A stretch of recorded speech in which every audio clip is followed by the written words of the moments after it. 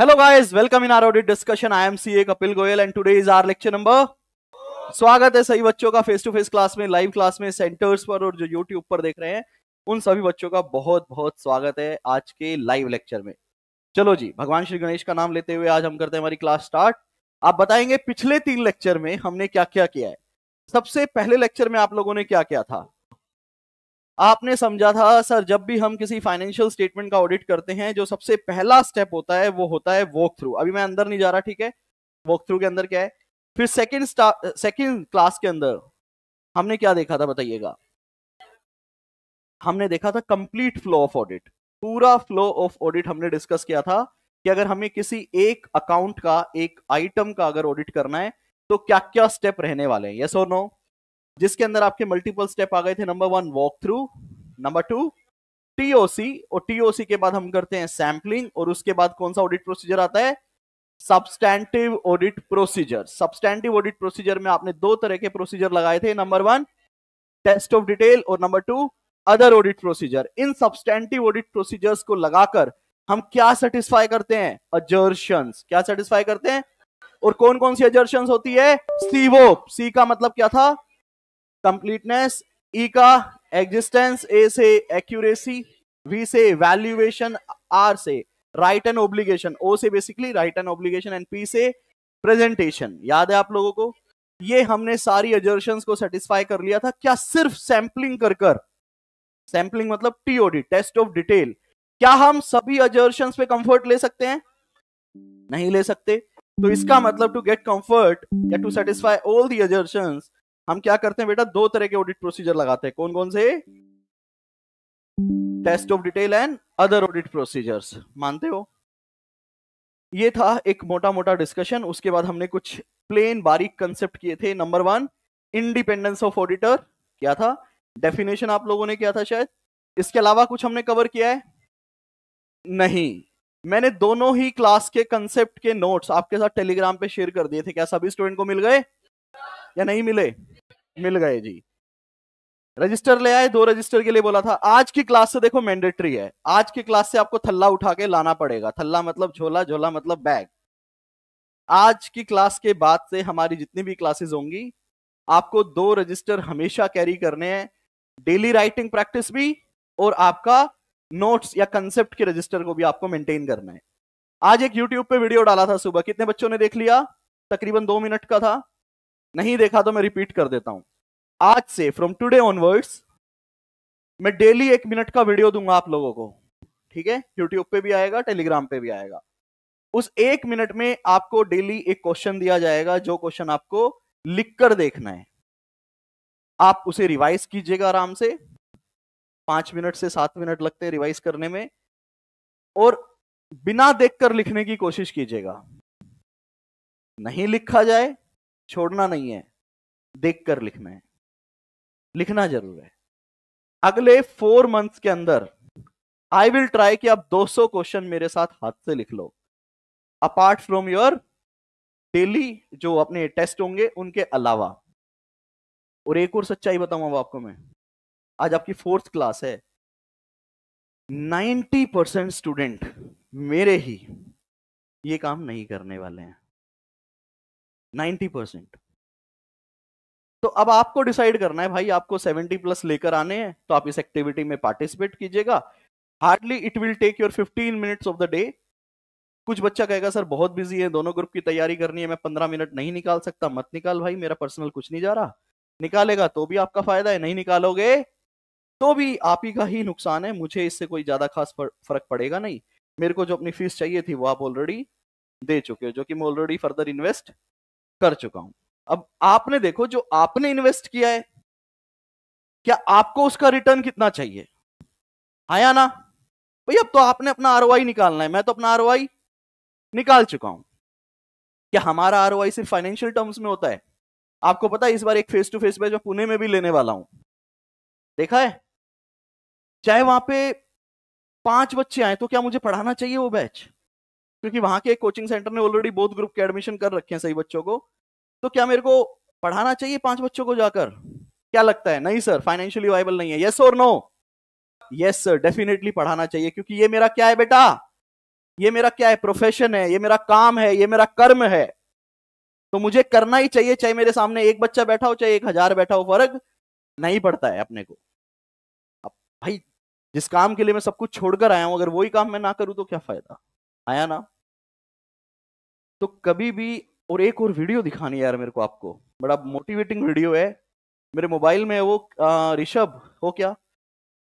मेरे मोबाइल में ना आज एक मैंने वीडियो बनाई है। इट्स थ्री और four minute video please IT team के साथ शेयर कीजिएगा। बीच में जैसे उनके पास आ जाए, जब वो प्ले कर पाए तो मुझे बताना, तब मैं प्ले करवाता हूँ। आईटी टीम को दीजिए आप। उनके साथ शेयर कर देना ऋषभ, तुम बत... हाँ। बहुत ही मोटिवेटिंग वीडियो है। अब देखिएगा, ठीक है? वो मैंने अभी शेयर नहीं की क्योंकि मुझे था कि मैं आप लोगों के साथ पहले शेयर करूँगा। हाँ जी स्क्रीन लेकर आइएगा प्लीज़ तो नोट्स बनाए सभी स्टूडेंट ने। जो नोट्स मैंने आपको दिए थे, चलो फिर आज की क्लास पाँच सात मिनट लेट स्टार्ट करते हैं। जो नोट्स मैंने आप लोगों को दे रखे हैं, कितने बच्चों ने अपनी नोटबुक में कॉपी पेस्ट कर लिया है? पूरे नहीं सर थोड़ा सा कर लिया थोड़ा सा रह गया। क्यों भाई? दो ही तो पेस्ट थे।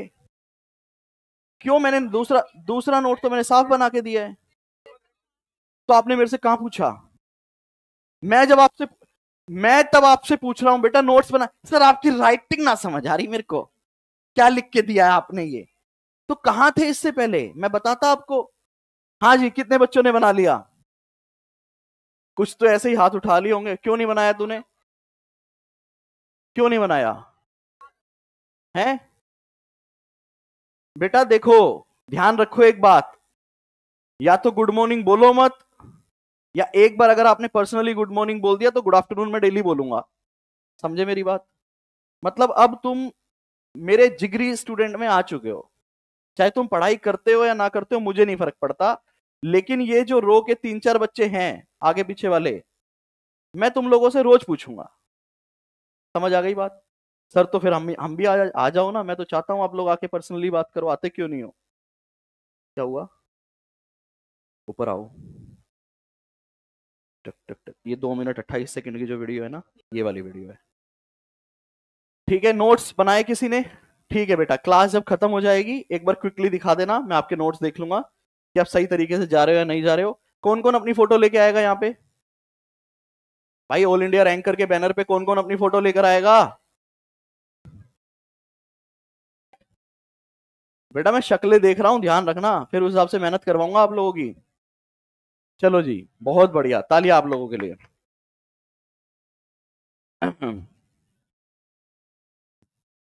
मतलब दो बैनर बनेंगे कि इस तरह का भी बनेगा आपका? सर, बैनर बैनर छोड़ो, बस आप हमें पैसे दे देना। सही बात है? बेटा, क्या कह रहे हो बेटा? हमें फ़ोटो चाहिए। क्या बात है, ये हमारे पास स्टूडेंट है सारे, जो आप ही की तरह फेस टू फेस या Google drive pen drive live में थे। अरे यूट्यूब और गूगल ड्राइव और अपना लाइव वाले बच्चों को भी गुड मॉर्निंग ठीक है? आपको भी कोशिश करनी है, कोमल, बिल्कुल, आप ज़रूर करेंगे। गुड मॉर्निंग ऑडियो तो चाहिए, बिना ऑडियो के तो वीडियो खराब है। बताओ कैसे करना है? एक काम करो। अच्छा लैपटॉप से चलेगी? ठीक है, एक काम करो, फिर तुम है ना, मुझे इसको मैं शेयर करता हूँ। तुम इसको ना मैडम का होने इस नंबर पे शेयर करो ये। बहुत ही मोटिवेटिंग वीडियो है यार। ठीक है, अब अपन ब्रेक में करेंगे इसको, क्योंकि अभी पढ़ाना है। शेयर कर देना। चलो जी स्टार्ट करते हैं। हाँ जी। लाइव वालों तैयार हो are you all ready for the class yes sir चलिए जी। सबसे पहला कंसेप्ट आपने देखा था, देखो, ये बुक है ना ड्राफ्ट है। मैंने आपको ड्राफ्ट वर्जन वन दिया हुआ है टेलीग्राम पे तो आपको ऐसा लग सकता है कि रोज क्लास में बुक चेंज हो रही है। तो अभी फाइनल नहीं है भैया, अभी तो मेरे को बहुत टाइम लगाना है इसकी प्रेजेंटेशन पे, अभी तो कंटेंट फाइनल हो रहा है। तो आप अभी पीडीएफ से ही पढ़ाई करेंगे, लेकिन ये बुक आपको ऐसा लग सकता है कि फॉर्मेटिंग चेंज हो रही है तो मैं प्रेजेंटेशन अभी इसमें अपडेट कर रहा हूँ डेली बेसिस पे। लो जी बुक्स आपको मिलेगी बेटा, अगली क्लास से पहले। कल के बाद जो क्लास होगी ना उससे पहले आप सबको बुक्स मिल जाएँगे आपके हाथ में। उससे पहले। लो जी, ध्यान से देखेंगे एक बार। आपने meaning and definition of auditing पढ़ा था, मैं रिपीट कर रहा हूँ सब कुछ एक बार, ठीक है? तो क्या था डेफिनेशन बताइएगा? An audit is an independent examination of financial information of any whether profit oriented और and irrespective of it size और when such an examination is conducted with a view to express an opinion बेटा, ये para learn करना है read करना है। ये read करना है तो सबने क्या करना है? आर मार्क कर लेना है यहाँ पे कि भैया ये हमें सिर्फ़ और सिर्फ़ रीड करना है जी। मार्क किया है? अगर नहीं किया है, आपने प्रिंट नहीं निकाला है, मान लीजिए कुछ बच्चे होंगे कि भाई बीस पेज प्रिंट क्यों निकालें? तो अपनी नोटबुक में लिख लो, मिनी हाँ जैसे इन बच्चों ने प्रिंट निकाल रखे हैं तो दिस इज़ वेरी गुड लो जी, आगे। एनालिसिस आपको नहीं करना, ये बाद में देखेंगे, फालतू के कंसेप्ट फिर मैंने आपको यहाँ पे लाइन लगवा के एक कंसेप्ट मेन करवाया था, क्या? The auditor conducting audit should take care to ensure that the financial statement would not mislead इसके क्या की पॉइंट थे बताना जरा? क्या था बताओ? The accounts and been drawn up with reference to entries in the books of account और एंट्री क्या थी? Supported by sufficient and appropriate audit evidences. None of the entries in the books of account have been omitted. The information unambiguous the financial statement are properly described classified याद है? और true and fair view यहाँ तक हमने किया था। फिर दो दो जनरल लाइन हमने रीड की थी auditing provide assurance is basic nature line in providing assurance to users that is providing confidence to user of the financial statement such an assurance lend credibility to financial statement audited financial statement provide confidence to user that financial statement reflected in, financial statement can be relied upon. यहाँ तक ना आपको सिर्फ़ और सिर्फ़ एक ही question याद करना है अभी तक, जो कि मैंने ये पाँच से छह पॉइंट आपको करवाए हैं। तो आप चाहें तो यहाँ पे क्या लिख सकते हैं? क्वेश्चन नंबर वन ठीक है जी? यहाँ तक किसी को कोई डाउट नहीं, मैं भी, मेरे को भी तो बताओ क्या चल रहा है। हाँ मुझे भी तो बताओ। देखो, एक और चीज़ सुनो, अब ये बड़ा, ये बढ़िया था बहुत। अब एक और चीज़ सुनो, गाली उतनी तेज दो जितनी आप तक ही रह जाए। अगर मेरे तक आ गई तो मैंने माँ बहन एक कर देनी है। भाई, चोरी ऐसे करो ना कि दूसरा पकड़ ना पाए। अगर मैंने पकड़ लिया तो चोरी कैसे हुई? तुम कुछ भी करो। यहाँ तक आवाज़ नहीं आनी चाहिए, मानते हो बेटा? यहाँ तक आ गई तो दोनों कॉलर से पकड़ूँगा और ऊपर से नीचे फेंक दूँगा। ध्यान रखना, ये चीज़ ध्यान रख, गाली देने का अधिकार सिर्फ़ जो है मेरी class no abusive language from the student side ध्यान रखना ये चीज़। अभी हालाँकि मेरे को पता नहीं चला किसने दिए तो तो एंजॉय करो, कभी लाल पीला हो अरे यार, सर ने सुन ली। मुझे पता ही नहीं किसने क्या बोला है, लेकिन इंजॉय करो, ठीक है? सर, आप डांट भी देते हो, फुचकार भी लेते हो, यही तो कला है भाई, सही बात है ना? लो जी, अब देखिएगा ऑडिट टीम और उसका फ्लो आज तो बच गया भाई मैं। ऑडिट यार, चार सौ बच्चे संभालना मज़ाक है क्या? पहले एक बच्चा कबूतर उड़ाता था। उसका मैंने कबूतर उड़ाया है यहाँ पे फिर। लो जी ऑडिट टीम एंड फ्लो बेटा रियल लाइफ में, ये सिर्फ़ नॉलेज के लिए है तो आप यहाँ पे जीके लिख सकते हैं। मतलब आपको एग्ज़ाम के लिए कंसेप्ट नहीं करना। हम रियल लाइफ में जब भी ऑडिट करते हैं तो उसका फ्लो क्या होता है? कैसे स्टार्ट होता है? देखेगा सबसे पहले ना, एक क्लाइंट जैसे कि रिलायंस इंडस्ट्रीज़ वो तीन सी फर्म को अप्रोच करेगा। जैसे कि एग्ज़ाम्पल के तौर पे पीडब्ल्यूसी को, उसके अलावा ई e को, उसके अलावा डिलोइट को। कि भाई साहब, हमें हमारा स्टैट ऑडिट करना है, आप हमें अपना क्या बना के दो? प्रपोजल बना के दो। तो हम उसके बिज़नेस के हिसाब से सीए फॉर्म एक प्रपोजल बनाएगी कि भाई साहब, ये प्रपोजल है, इतने घंटे हमें आपका ऑडिट करने में लगेंगे, हमारे इतने टीम मेंबर्स लगने वाले हैं, हम आपसे इतना ऑडिट फ़ीस चार्ज करेंगे। फिर उसके साथ टर्म्स एंड कंडीशन होती है कि भैया, आप इतने टाइम पे हमें डेटा अवेलेबल करवा दोगे, जैसे होता है ना राइट टू एक्सेस उसमें किसी तरह का कोई डिस्टर्बेंस नहीं चाहिए। आप अपनी एक फ़ीस दोगे उनको। ऐसे केपीएमजी भी फ़ीस देगी ईवाई e भी फ़ीस दे देगा डिलोइट भी। अब आप एक बार बताओ रिलायंस इंडस्ट्रीज़ किसको काम देगा? भाई सीए तो सब उसके लिए बराबर है बिग फोर कोई भी हो। तो वो जनरली किस मेन फैक्टर को कंसिडर करेगा बताओ। भाई फाइनेंशियल फ़ीस को देखेगा वो। उसने देखा यार एक्स फॉर्म मेरे को कम फ़ीस में काम करके दे रही है और ये तो स्टेचरी कॉम्प्लाइंस है। बिग फोर कोई भी हो, सब बराबर है। तो उसको वो काम दे देगा या उसके अपने रिलेशन रिलेशनशिप भी होते हैं भैया, उसके हिसाब से काम दिया जाएगा। तो सबसे पहले रियल लाइफ में ना एक क्या बनता है क्लाइंट का प्रपोजल भाई क्लाइंट प्रपोजल बन गया, साथ ही साथ हर सीए फर्म में एक टीम होती है रिस्क को जो एसेस करती है। प्रपोजल एक्सेप्ट हो गया। सामने वाला बंदा कह रहा है, ठीक है जी, मैं आपको अपना काम देने के लिए तैयार हूँ। जैसे बेटा आप, आपका वो पेपर का है, नाम का। ये लो, आज तुम्हारा, मान लीजिए लवेश को मैंने बोला, लविश, आपको मैं अपना काम देने के लिए तैयार हूँ ऑडिट का। आपने प्रपोजल दिया था, आप ले लीजिए। लविश ने कहा कि, ठीक है, मैं करने के लिए तो तैयार हूँ भाई, मैंने प्रपोजल तो दिया था, लेकिन मैं आपका काम करूँ या ना करूँ, इसके लिए I need two to three days yes or no या ये बोले, ठीक है भाई, आपने मेरे को काम दिया, मैं करने के लिए तैयार हूँ। ऐसा होगा क्या?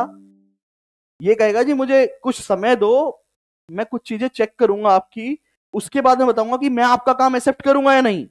अभी तक तो मैंने आपको सिर्फ़ प्रपोजल दिया है। मैं कहा, कर ले भाई। तो ये क्या करेगा? अपनी टीम को बोलेगा, रिस्क टीम को। देखो, कल हर्ष आके एक बात बोल के गया था। सर की स्टोरीज को बहुत ध्यान से सुनना तो ध्यान से सुनना ये सारी बातें। क्योंकि ये याद रहती हैं स्टोरीज कंटेंट आप भूल जाओगे, लेकिन स्टोरीज याद रहेंगी आपको। तो लविश क्या करने वाले हैं? अपनी रिस्क टीम को बोलेंगे, भैया एक्स क्लाइंट आ रहा है हमारे पास whether we should accept this client or not team क्या करती है? रिस्क टीम उस क्लाइंट के सारे बोर्ड ऑफ़ डायरेक्टर मैनेजमेंट का बैकग्राउंड चेक किया जाता है। समझ आ रही है बात? बैकग्राउंड डिटेल में चेक किया जाएगा। उसका बिज़नेस चेक किया जाएगा। लास्ट ऑडिटर की क्या ऑडिट रिपोर्ट है वो देखी जाएगी। क्या उसका टर्म पूरा हो गया, इसलिए हमें हमें बुलाया जा रहा है? या वो बिफोर टर्म कंप्लीशन वो रिजाइन करके जा रहा है या उसे रिमूवल किया जा रहा है? बहुत सारी चीज़ें होती है। इसे हम बोलते हैं सेक्रेटरियल कॉम्प्लाइंसेस क्या बोलते हैं? ये पहले इंश्योर किया जाएगा और एक रिपोर्ट आएगी रिस्क टीम से कि भैया, आप हमारी साइड से ऑडिट एक्सेप्ट। इसके अंदर कंपनीज़ एक्ट की रिक्वायरमेंट भी आ जाएगी कि भैया मैक्सिमम नंबर ऑफ़ ऑडिट कितने हैं, हम ऑलरेडी कितना कर रहे हैं whether we can accept this client तो लीगल भी देख लेंगे रिस्क भी देख लेंगे और एक पूरी सेक्रेटरियल की रिपोर्ट बनकर आ जाएगी। ये हमारा पहला स्टेप होता है, समझ आया? यहाँ तो ऑडिट स्टार्ट ही नहीं हुआ। हुआ क्या? ये तो बैकग्राउंड में चल रहा है सब। यस और नो अब पार्टनर के पास टीम से आ गया you can accept the audit proposal मेरा ऑलरेडी एक्सेप्ट हो चुका है।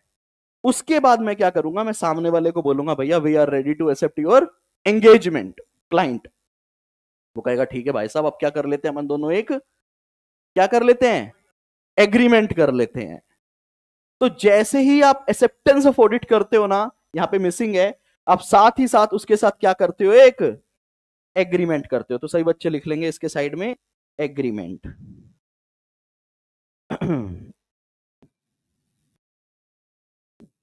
क्या हम भैया, आपके साथ क्या करेंगे? एक एग्रीमेंट करेंगे। ताकि बाद में कोई फ्यूचर में दिक्कत ना आए। और एग्रीमेंट कैसे बनेगा? उसका पूरा एक स्टैंडर्ड है हमारा S A number two hundred and ten agreement हो गया? अब क्या होगा? अब आप सोचिए, क्या होगा? एग्रीमेंट हो गया क्लाइंट के साथ? क्या पूरी सेना को लेके पहुँच जाऊँ क्लाइंट प्लेस पे? नहीं। सबसे पहले क्या किया जाएगा? पार्टनर लेवल पे। और जो मान लो उस क्लाइंट पे पार्टनर क्या करता है? जनरली एक मैनेजर या सीनियर मैनेजर को असाइन करता है कि भाई, मैं तो मेरे दस क्लाइंट है, मैं दस के दस तो नहीं देख सकता। एग्जीक्यूशन मैं थोड़ी ना कर सकता हूँ। तो मान लो मेरी टीम के दो सीनियर बंदे हैं, तरुण और दीपक। मैं बोलता हूँ, तरुण और दीपक, आओ मेरे साथ चलो। क्लाइंट प्लेस पे चल के मीटिंग करते हैं। रिलायंस के साथ क्या करते हैं? मीटिंग करते हैं हम वहाँ जाएँगे हम क्लाइंट के साथ बैठेंगे। अच्छा जी बताओ हमारा रिपोर्टिंग ऑब्जेक्टिव क्या है? आप कब तक अपना ऑडिट कंप्लीट करवाना चाह रहे हो? कब कब आप हमें कौन कौन से एविडेंसेस प्रोवाइड करोगे? तो एक हेल्दी डिस्कशन चल रहा है किसके साथ? क्लाइंट का और ऑडिट टीम का। यस और नो वो डॉक्यूमेंट किया जाएगा नहीं किया जाएगा ये मीटिंग ये डॉक्यूमेंट किया जाएगा इसमें काफ़ी चीज़ों पे हम दोनों एक दूसरे से क्या कर लेंगे? एग्रीमेंट कर लेंगे। समझ आई यहाँ तक बात? मैंने वहाँ पे डॉक्यूमेंट कर लिया, अब मैं वापस अपने ऑफ़िस में आऊँगा।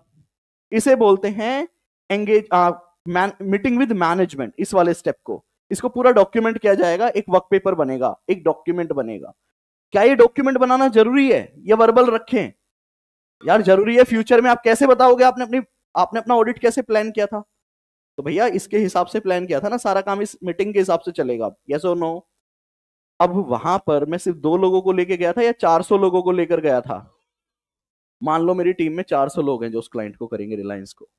अब मैं वहाँ से वहाँ से आ गया हूँ और अब मैं अपनी टीम को बोल रहा हूँ यू आर माई टीम कि भैया I am the partner can I execute the work can I execute the client work no I can not execute because मेरे पास बहुत सारा काम है।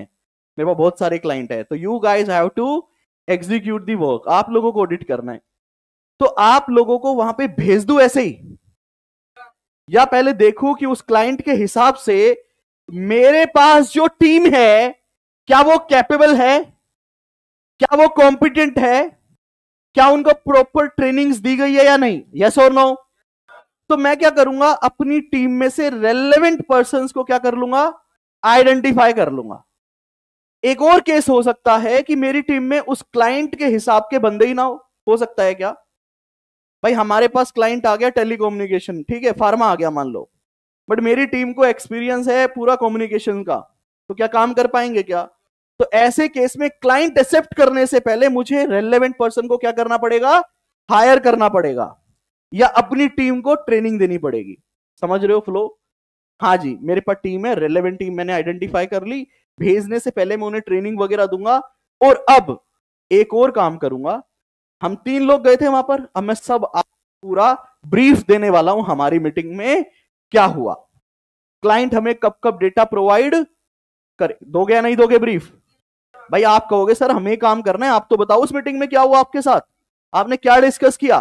Since I am the partner and these two are experience team members हम आपको हमारा experience भी शेयर करेंगे। कि देखो बेटा, जब आप फार्मा पे जाते हो तो ये सबसे मेन रिस्क है। हाँ या ना? इनका ध्यान रखना आप लोग। इस तरह के क्लाइंट पे generally companies X Y Z ये तीन तरीके से फ्रॉड करती है। You have to take care of this तो मैं बेसिकली आपको क्या कर रहा हूँ, जो मेरी टीम है, उसको कुछ भी एग्जीक्यूशन से पहले इवन प्लानिंग से भी पहले एक मीटिंग कर रहा हूँ और वहाँ पे आपको सारी चीज़ें डिटेल में बता रहा हूँ। समझ आ रहा है?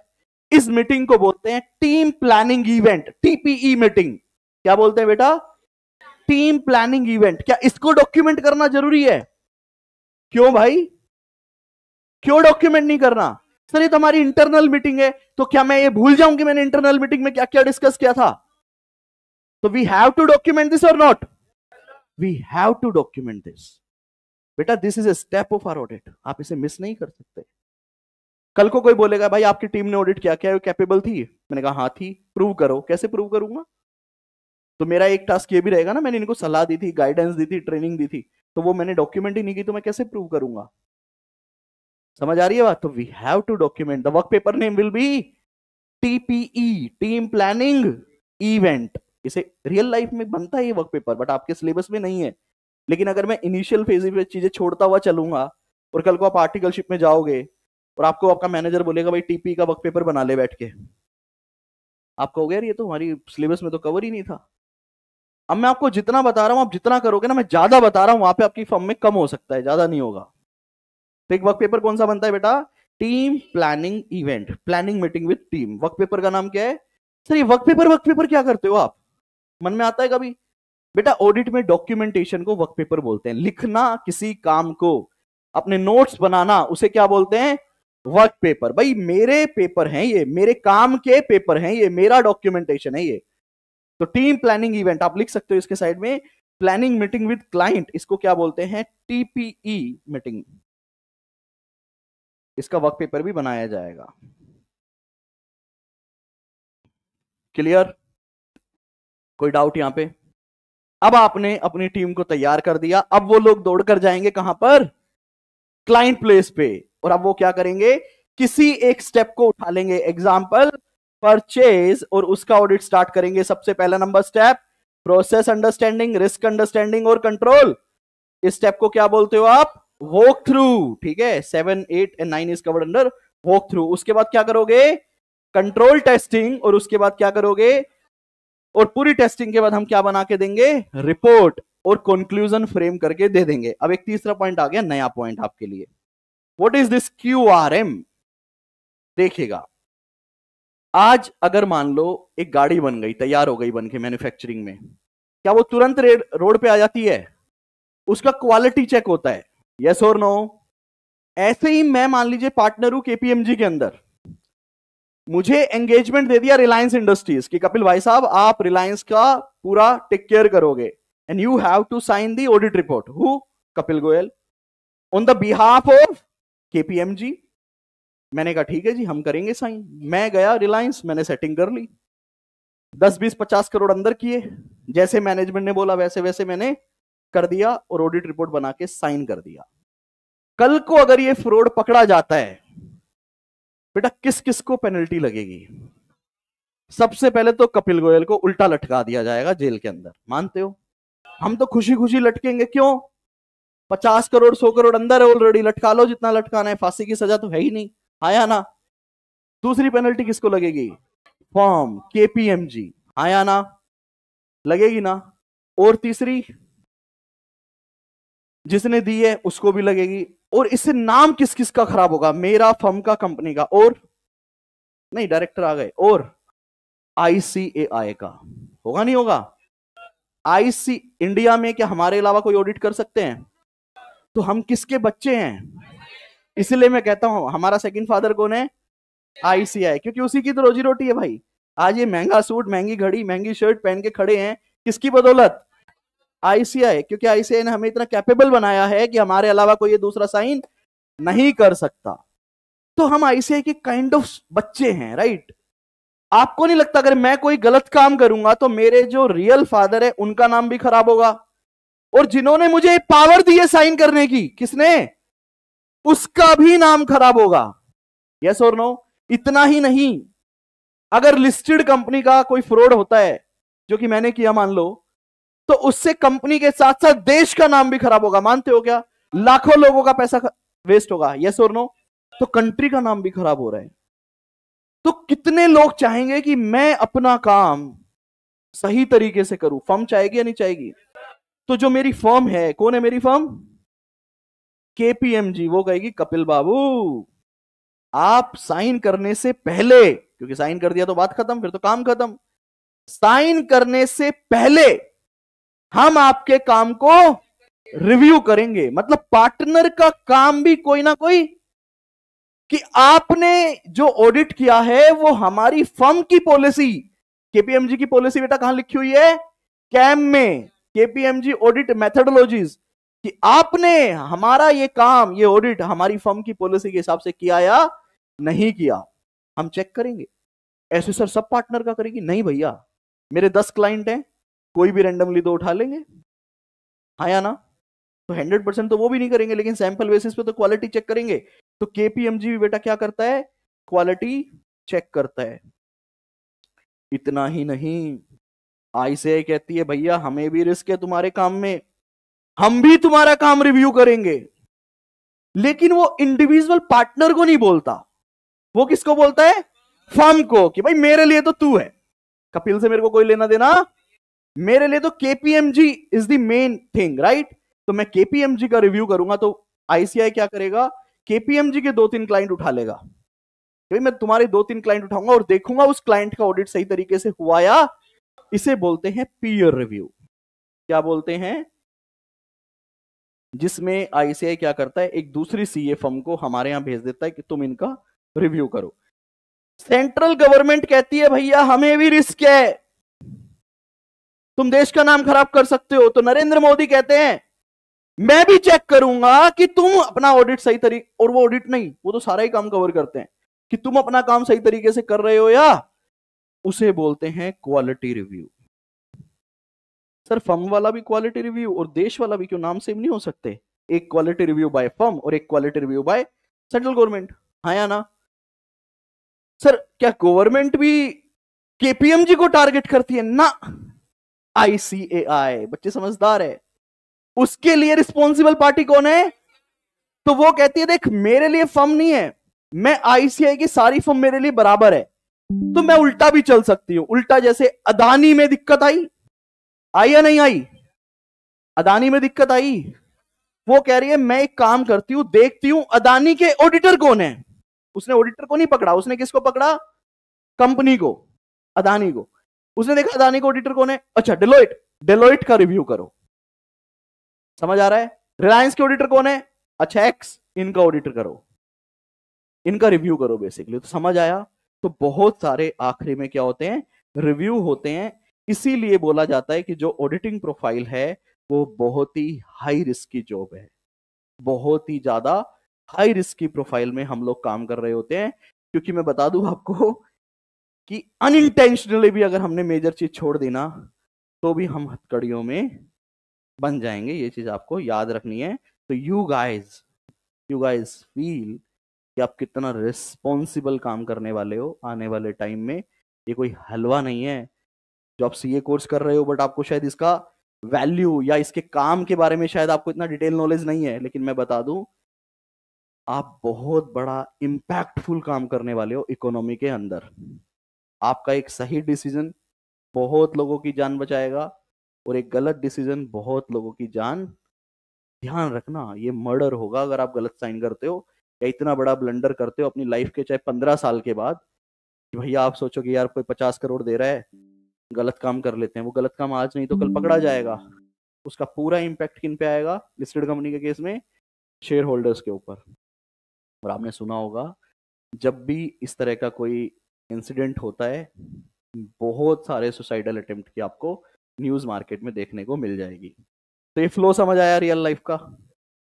इसी के साथ मैंने टीम की एक फ़ोटो भी डाली है कि टीम कैसी दिखती है जनरली देखिए जी जनरली एक आपकी टीम में कौन होते हैं? पार्टनर वो अपना काम किनको असाइन करते हैं? लाइक सीनियर मैनेजर अब सीनियर मैनेजर भी खुद नहीं करेगा तो वो क्या रखेगा? एक, दो मैनेजर तो मैनेजर कौन है इसमें? कौन है भाई? ब्लैक वाली. हाँ ब्लैक वाली मैनेजर हो गई. क्यों? क्योंकि मोटे हो चुके हैं ना खा खा के. ठीक है, फिर उसके बाद दो असिस्टेंट मैनेजर होते हैं. ये मान लो एक असिस्टेंट मैनेजर हो गया. उसके बाद सीनियर होते हैं, जो सीए बन चुके हैं। ये मान लो सीनियर हो गए, फिर उसके बाद दो चूजे होते हैं, जो सिर्फ़ खाने पीने का काम। ये देख रहे ये चूजे, इनको कोई मतलब नहीं है किसी चीज़ से। इनको सिर्फ़ पिज्जा दे दो, बर्गर दे दो, कॉफ़ी पिला दो। तो इस तरह से पूरी टीम होती है जो काम को करती है, ठीक है? तो this is our team partner senior manager manager assistant manager senior और स्टाफ स्टाफ बेसिकली मैं चूजों को बोल रहा हूँ। दैट इज़ आर्टिकल असिस्टेंट यहाँ तक समझ आया? ये लिख लो only for general knowledge not for your syllabus not for your exam आगे आ जाओ। आज हम हमारा पहला स्टैंडर्ड स्टार्ट कर रहे हैं, जो कि है एस ए नंबर 200 जैसे आप अकाउंटिंग स्टैंडर्ड पढ़ते हो, ऐसे हम ऑडिटिंग स्टैंडर्ड पढ़ रहे हैं। आज हमारा पहला स्टैंडर्ड स्टार्ट हो रहा है, जिसका नाम है एस ए नंबर 200 ये एस ए नंबर आप कोशिश कीजिएगा एक चार्ट बनाकर दीवार पे चिपका दो, पहले ही दिन, आज ही, बिना समझे ठीक है? लिस्ट ऑफ़ स्टैंडर्ड की आप चाहो तो मैं पीडीएफ शेयर कर दूँगा, उसका प्रिंट आउट निकाल के दीवार पे चिपका देना। पहला स्टैंडर्ड है आज एस टू हंड्रेड जिसका नाम क्या है पढ़िएगा मेरे साथ। Overall objective of the independent auditor रुक जाइएगा यहीं पे एस ए टू हंड्रेड के अंदर पहला कंसेप्ट है, भाई बैठो ना तुम पाउं थक जाएँगे, वो मेरा काम है खड़े होने का। एस टू हंड्रेड का क्या नाम है? Overall objective of the independent auditor पहला काम। क्या पूछ रहा है? ऑडिटर का ऑब्जेक्टिव क्या है? ओवरऑल ऑब्जेक्टिव क्या है? दूसरा an conduct of the audit in accordance with SAs पहला क्या बोल रहा है? कि ऑडिटर का ओवरऑल ऑब्जेक्टिव एंड क्या कहता है? Conduct the audit in accordance with SAs तो आपको दो चीज़ें बिल्कुल क्लियर हो गई। सर ऐसे 200 में सिर्फ़ दो बातें करनी है। पहला, भाई मेरा ऑब्जेक्टिव क्या है? आया ना? दूसरा बता रहा है कि आपको अपना ऑडिट किसके हिसाब से करना है? स्टैंडर्ड्स ऑन ऑडिटिंग के हिसाब से। मैं छोड़ सकता हूँ क्या स्टैंडर्ड्स ऑन ऑडिटिंग को? नहीं छोड़ सकते सर, आपको फॉलो करना पड़ेगा। ऑप्शनल है मैंडेटरी है। मैंडेटरी है सर, आपको फॉलो करना पड़ेगा। तो दो बातें करेगा। Number one overall objective of the independent auditor and conduct the audit in accordance with SAs बात समझ आई? पहले हम, पहला, आप देखिए इस स्टैंडर्ड को ना क्वेश्चन आंसर फॉर्म में कर सकते हैं। मैंने आपके लिए सबसे पहले लिखा हुआ है फाइव या six concept objective scope aspects reasonable assurance inherent limitation और ऑडिटर रिक्वायरमेंट मैंने क्या किया? छह कंसेप्ट पढ़ेंगे हम स्टैंडर्ड में, छह आपके सामने रख दिए। तो आप क्वेश्चन आंसर फॉर्म में भी कर सकते हैं, ठीक है? भाई, पहला question number one answer question number two answer question number three answer जैसे आपको सही लगे। पहला क्वेश्चन हम आपके लिए कर रहे हैं number one overall objective of the independent auditor कि उसका ऑब्जेक्टिव क्या है। बहुत धीरे धीरे चलेंगे, ठीक है? क्योंकि यहाँ पे ना ऑडिट का कोर छुपा हुआ है। मैं आपके लिए लाइन पढ़ता हूँ। सर स्टैंडर्ड को कोट करना ज़रूरी एग्ज़ाम में? इंटर लेवल पे ज़रूरी नहीं है बट मेरी आपसे कोशिश रहेगी कि आप जब भी अपना आंसर लिखें स्टैंडर्ड का नाम और नंबर दोनों आप कोट कीजिए। गलत नहीं करना। सही याद है तो कीजिए। नहीं तो सिंपल लिखना है as per standards on auditing issued by the ICAI गलत नंबर कभी भी आपने कोट नहीं करना है। तो क्या कहता है ओवरऑल ऑब्जेक्टिव कहाँ दिया हुआ है? ऐसे 200 में दिया है। ऐसे 200 में सबसे पहले ऑडिटर का ऑब्जेक्टिव दिया गया है, एक ऑडिटर का क्या ऑब्जेक्टिव है? क्या ऑब्जेक्टिव हो सकता है एक ऑडिटर का? इधर देखकर बात कीजिएगा प्लीज़ लाइव वाले, आप भी बताइएगा। फाइनेंशियल स्टेटमेंट को चेक करना एविडेंसेस को ऑप्टेन करना। पहले आप ऐसे बोलो एविडेंसेस को ऑप्टेन करना, उन एविडेंसेस को इवेल्युएट करना और इवेल्युएशन करने के बाद एक ओपिनियन देना। ये ऑब्जेक्टिव है। अल्टीमेट ऑब्जेक्टिव तो यही है। ओपिनियन किसमें दोगे? वर्बली या रिपोर्ट में? तो वो ओपिनियन आपने रिपोर्ट में डाल के देनी है। तो दोबारा मेरे साथ रिपीट करेंगे। बच्चे ने बिल्कुल सही शुरुआत की है। क्या बोलते हैं? सबसे पहले फाइनेंशियल स्टेटमेंट को देखना, उसके एविडेंसेस को ऑप्टेन करना आइटम के, उन एविडेंसेस को इवेल्युएट करना और इवेल्युएट करने के बाद एक ओपिनियन देना। ओपिनियन कहाँ दोगे? रिपोर्ट में देंगे। ठीक है जी? अब आप एक मुझे बात बताइए, जो ओपिनियन हम देते हैं। क्या वो ट्रू एंड करेक्ट बोल सकता हूँ? नो no, सर क्यों नहीं बोल सकते? हैंड रेस करके आंसर देना है। ये बकरी बाज़ार नहीं बनेगा यहाँ पे। क्यों नहीं दे सकते? एक है ना कोई बच्चा मेरे लिए सिनॉप्सिस बनाएगा जो आंसर आ रहे हैं। ठीक है? कौन बनाएगा? सिनॉप्सिस बनाओगे? जो मैं बोलू रिपीट बस वो आपने एक वर्ड लिखना है। ठीक है? पीछे लिखना अपनी नोटबुक के। क्यों नहीं? हाँ तो इन्होंने बोला सर हम ट्रू एंड करेक्ट नहीं बोल और रिपीट नहीं करेगा कोई भी। ट्रू एंड करेक्ट नहीं बोल सकते। Why because we can't test hundred percent हम hundred percent checking this is a limitation yes और नो कि मैं भैया सौ प्रतिशत को चेक जब मैं हंड्रेड परसेंट चेक ही नहीं कर रहा तो मैं कैसे बोल दू सब कुछ सही है? तुम्हें समझ आ रहा है? हाँ तो फिर अटेम्प्ट कर दो तुम भी। ठीक है? तुमने फॉर्म भरवा देना है मैंने तुम्हारा। क्योंकि जितनी गौर से तुम सुन रहे हो, कोई नहीं सुन रहा। ये बिल्कुल ऐसे। तो आप मुझे बताओ तो आपने पहले बोला कि हम हंड्रेड परसेंट चेकिंग हाँ जी सेकंड बताइएगा। हाँ बेटा।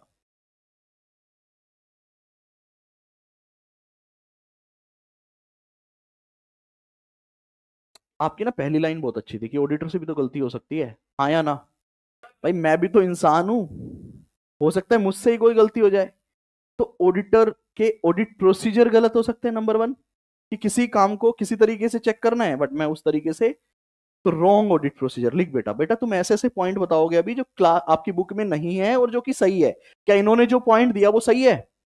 हंड्रेड परसेंट ठीक है सर मैं सैंपलिंग गलत तरीके से निकाल कर दूँ, मैं मेटेरियलिटी गलत निकाल दूँ, मैं सैंपल गलत तरीके से चेक कर दूँ कंट्रोल क्लाइंट के बेकार है, लेकिन मुझे लग रहा है सही है तो उससे पूरा ऑडिट खराब हो जाएगा यस और no you are absolutely right हाँ जी।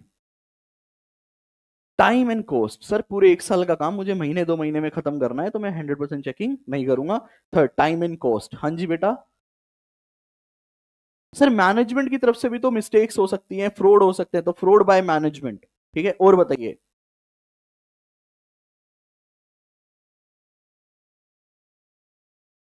नहीं तो मैं यही तो पूछ रहा हूँ, क्यों नहीं? उसके और क्या रीजन हो सकते हैं? हाँ जी, पीछे से कोई लास्ट में से कोई कुछ बताना चाहेगा? इस साइड से भी ये बच्चे अनअटेंडेड नहीं रहने चाहिए मेरे। हाँ जी, आप कुछ बताना चाहोगे? नहीं सर, हमें प्रोजेक्टर देखने तो हमें परेशान ना करो हमने हमारी कॉफ़ी सामने रखी हुई है, टांगों से टांगे मिला रखी है। हमारा सही हमारा कॉर्नर बिल्कुल सही चल रहा है कॉर्नर वालों को बिल्कुल ना छेड़े। और पिलर वालों को, ये जो पिलर के उधर है, ये बिल्कुल ही अलग है। देख रहे हो, जैसे ये बच्चा दिख रहा है मुझे, इसके उधर वाले चार हाँ हाँ जी बेटा, और कोई आप एग्ज़ाम्पल देना चाहोगे मुझे? एक माइक ले आना यार, ऋषभ। माइक ले आना। ट्रू एंड करेक्ट व्यू क्यों नहीं दे सकते? हाँ जी, कोई बता दो आप। बता दो। आप क्यों हाँ आपसे क्यों नहीं पूछ, बताओ। कोई बात नहीं, आप बता दे। अरे कुछ तो सोच। मैं तुझे बोल रहा हूँ फाइनेंशियल स्टेटमेंट का ऑडिट कर रहे हो आप। आप ये क्यों नहीं बोल सकते फाइनेंशियल ट्रू एंड करेक्ट है। Can you give me the answer हाँ नहीं कोई बात नहीं दोबारा बोल लेने दे क्योंकि आप पूरी इंफॉर्मेशन को इवेल्युएट नहीं चेक कर सकते। कोई और आपके माइंड में आ रहा है हाँ जी कोई बताएगा? हाँ जी बेटा बताओ। मिस्टेक और मिस्टेटमेंट्स तो हो ही सकती है। Any other example which is different yes yes yes please say it in mic ये आप बुक से रीड करके बता रहे हो बेटा? कोई बात नहीं ग्रेट बोलिए अपना आंसर बोलिए प्लीज़ अजम्पशंस पे बनाए जाते हैं। क्या? क्या? बोलो। ऑडिटिंग वगैरह रिपोर्ट नहीं ऑडिट तो आउटपुट है। अच्छा फाइनेंशियल्स अब पूरा बोलो। फाइनेंशियल assumptions बनाए जाते हैं। फाइनेंशियल अजम्पशंस पर बनाए जाते हैं। यस और no we make many provisions बहुत सारे एस्टिमेट्स किए जाते हैं। किए जाते हैं नहीं किए जाते हैं? तो क्या वो फैक्चुअल डेटा होता है? नहीं। वो कैसा डेटा होता है? जजमेंटल तो ये आपका पॉइंट बहुत अच्छा था। तो जो भी सिनॉप्सिस बना रहा है प्लीज़ प्लीज़ एक बात लिखिएगा। जजमेंट और आपने क्या बोला था? अजम्पशंस एनी अदर पॉइंट कुछ बताना चाहेंगे आप लोग? हाँ जी बेटा बताओ।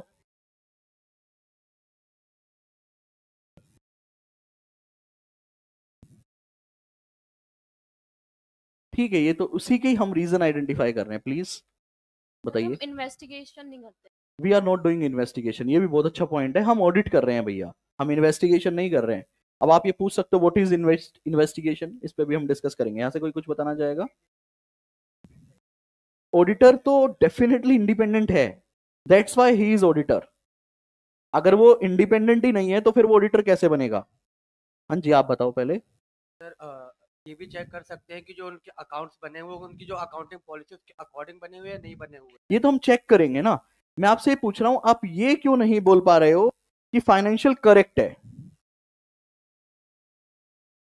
एब्सोल्युटली राइट कहाँ से लाते हो ये point great we are believing कि जो इंफॉर्मेशन प्रोवाइडेड बाय मैनेजमेंट है, जो इंफॉर्मेशन गिवन बाय मैनेजमेंट है इज़ करेक्ट आप हम बिलीव कर रहे हैं ना? हम बिलीव कर रहे हैं नहीं कर रहे हैं? कि मैनेजमेंट ने जो मुझे इनवॉइसेस दिए हैं, क्या वो इनवॉइस क्या वो इनवॉइस जब मेरे हाथ में आया तो वोट आई बिलीव आपके बहुत अच्छा पॉइंट बोला यार। जब मैनेजमेंट ने कहा, जी, ये एक इन्वॉइस है जो आपने सैंपल निकाला है, लीजिए चेक कर लीजिए। जब मैनेजमेंट मुझे वो इनवॉइस दे रही है what I believe please tell me this invoice is valid this invoice is original हाँ या ना? क्या ये नकली इन्वॉइस हो सकता है? पीडीएफ में बनाया हुआ। हो सकता है, नहीं हो सकता है। But I believe this is true sir, आप चेक क्यों नहीं कर रहे? डू यू फील कि मैं ऑडिटर एक सीए इस चीज़ में, नहीं नहीं, सब कुछ मैं कर भी नहीं सकता चाहकर भी नहीं कर सकता। डू यू फील हम बता देंगे जाली इनवॉइस है क्या हमारे पास उतनी एक्सपर्टीज है? नहीं तो ये एक आपका बहुत अच्छा पॉइंट था ये बेटा कपिल। लो। हाँ जी, कोई और कोई कुछ बताएगा? एम्प्लॉयज़ भी फ्रॉड कर सकते हैं, सर मैनेजमेंट छोड़ो। Who can do fraud employees भी फ्रॉड कर सकते हैं, कैसे मिलकर कर लेंगे? अकेले के पास पावर नहीं है, चार के पास है, चारों ही मिल गए। हाँ या ना? और बताइए। हाँ बेटा।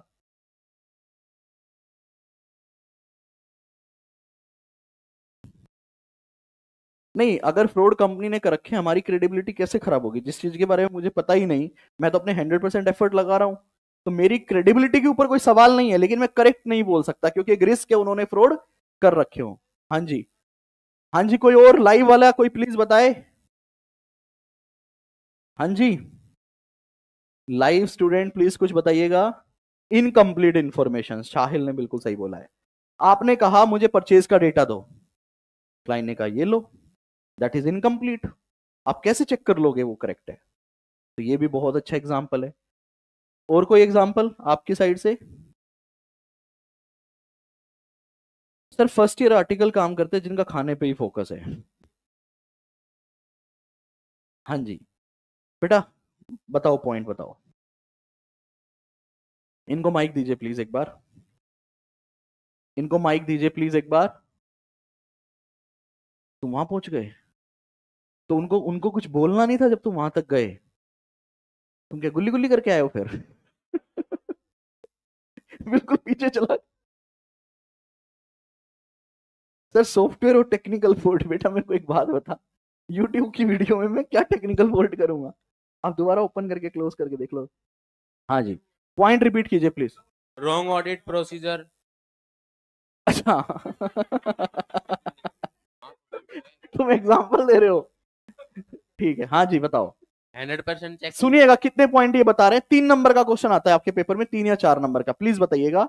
Hundred percent checking not possible तो that's why we do sampling पहला हो audit procedure wrong audit procedures लगा दिए हमने ठीक है। Time and cost time and cost और fraud by management road by management financials made on assumptions. Financial estimate और एजम्पशन बेस बनते हैं फाइव judgment. जजमेंट ठीक है उसी में कवर हो जाता है वैसे point not doing investigation. We are not doing investigation six fraud by employees. Fraud by employee 7 leaving information given believing information given by management is correct and true Incomplete eight. incomplete information incomplete nine nine point आपने दिए तालियाँ बजाएँगे सभी student these are the minimum right nine examples because of that we cannot give true and correct true and that's why हम कौन सा opinion देते हैं ट्रू एंड फेयर इसका मतलब यह है कि इन सब डॉक्यूमेंट को चेक करने के बाद मुझे हंड्रेड परसेंट सेटिस्फेक्शन कभी भी नहीं मिल रहा।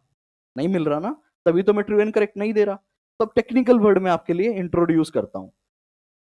आप बोलते हो, हम hundred percent true and correct नहीं बोल सकते। इसको बोलते हैं एप्सोल्यूट सुना होगा आपने? कि भाई, इसीलिए हम एप्सोल्यूट एश्योरेंस नहीं ले पाएँगे। मानते हो? हम एप्सोल्यूट एश्योरेंस एप्सोल्यूट का मतलब क्या होता है? हंड्रेड परसेंट क्या होता है? एब्सोल्यूट नहीं ले पाएँगे भैया। हंड्रेड परसेंट तो जिसके नो एग्ज़ाम्पल तो आपने दे दिए। तो कैसा ले पाओगे? हम एक रीजनेबल एश्योरेंस ले पाएँगे। कैसा एश्योरेंस अब ये रीजनेबल क्या है? देखो, नाम में ही रीजनेबल है। वही रीजनेबल से एश्योरेंस हम ले लेते हैं। But what is this reasonable assurance reasonable assurance is a high level assurance मेरे साथ रिपीट करेंगे। Reasonable assurance is a but not an absolute assurance मतलब क्या है कि भैया, मैं ये बोल सकता हूँ कि 99 परसेंट ठीक है। बट 100 इसीलिए हम क्या एब्सोल्यूट एश्योरेंस लेते हैं? ना। क्या हम रीजनेबल एश्योरेंस लेना चाहेंगे? Yes reasonable assurance is a but not an अब हम पढ़ेंगे हमारा overall objective of the auditor clear है यहाँ तक? जो मैंने आपको ये नाइन एग्ज़ाम्पल दिए, ये हमारा बुक का एक कंसेप्ट है इनहेरेंट लिमिटेशन ऑफ़ ऑडिट क्या है? भाई ऑडिट की अपनी कुछ लिमिटेशन है। हा या ना? जिसकी वजह से मैं एब्सोल्यूट एश्योरेंस नहीं ले सकता, और वो लिमिटेशन वही है जो आपने एग्ज़ाम्पल दिए हैं। समझ आया बेटा? तो दो कंसेप्ट मैंने आपको एक साथ करवा दिए। लो जी, और अब बहुत इंटरेस्टिंग चर्चा स्टार्ट होगी आगे। देखिएगा।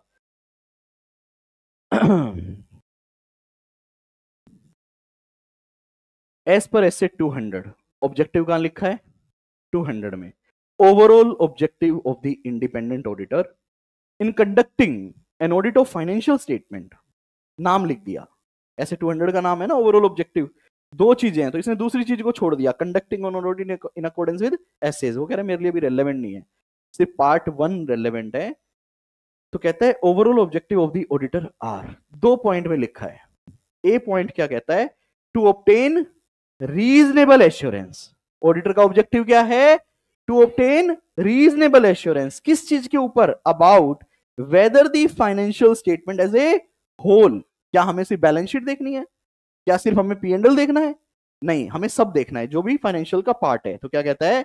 To obtain reasonable assurance about whether the financial statement as a whole are free from material misstatement कुछ समझ आया? सर, हमें चाहिए रीजनेबल एश्योरेंस कि जो फाइनेंशियल स्टेटमेंट है वो फ्री हो। किससे?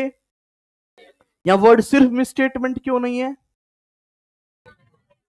सर, ऐसा हो सकता है कि ये जो निब्बी है, ये पाँच रुपए की चाय पीती है रोज आफ्टर ऑफ़िस आवर्स लेकिन एक कंपनी में डाल देती है उसका बिल कि लो जी, एक चाय पी है या मान लो ये इसने डिनर किया, इसने दिखा दिया ऑडिटर के साथ किया, और हज़ार रुपए का बिल कंपनी पे चढ़ा दिया।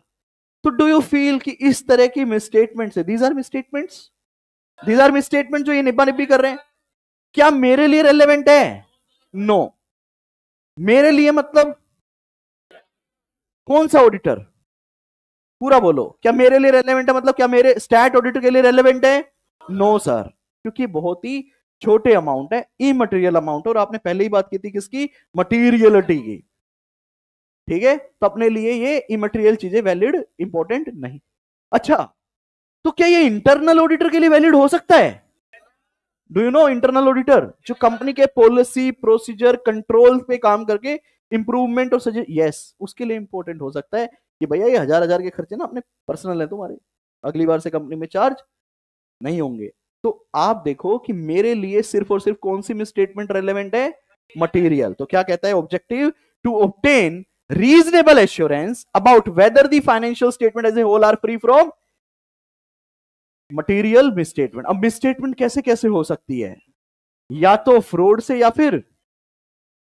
आया ना?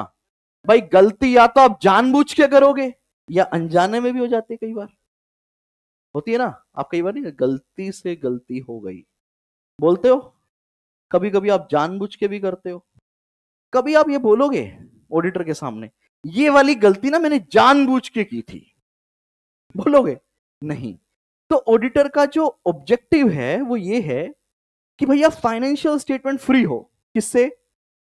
मटेरियल मिसस्टेटमेंट से। That material misstatement can be because of fraud and error आपने दोनों चीज़ों के लिए ऑडिट प्रोसीजर लगाने हैं। मतलब कुछ ऑडिट प्रोसीजर आप स्पेसिफिक लगाना, जहाँ पे आप फ्रॉड को आइडेंटिफाई कर सको कि हुआ है या, और कुछ हम लगाते हैं, उनमें एरर तो हम पकड़ ही लेते हैं। हाँ या ना? एरर मतलब गलती। अगर गलती से गलती हो गई मतलब मैं करना नहीं। होता है ना, कभी आप कुछ करना नहीं चाहते बट हो जाता है। तो आप उसको रेक्टिफाई करना चाहोगे, नहीं चाहोगे? कि गलती हो गई, कोई बात नहीं, गलती ही रहने देते हैं। मैंने मैंने फिक्स एसेट्स को परचेज में डाल दिया, गलती से। अब इस गलती को गलती ही रहने देते आप ऐसा करोगे? तो या तो आप ही आइडेंटिफाई कर लोगे, या ऑडिटर आइडेंटिफाई कर लेगा यस और नो तो यहाँ तक दोबारा पढ़िएगा मेरे साथ।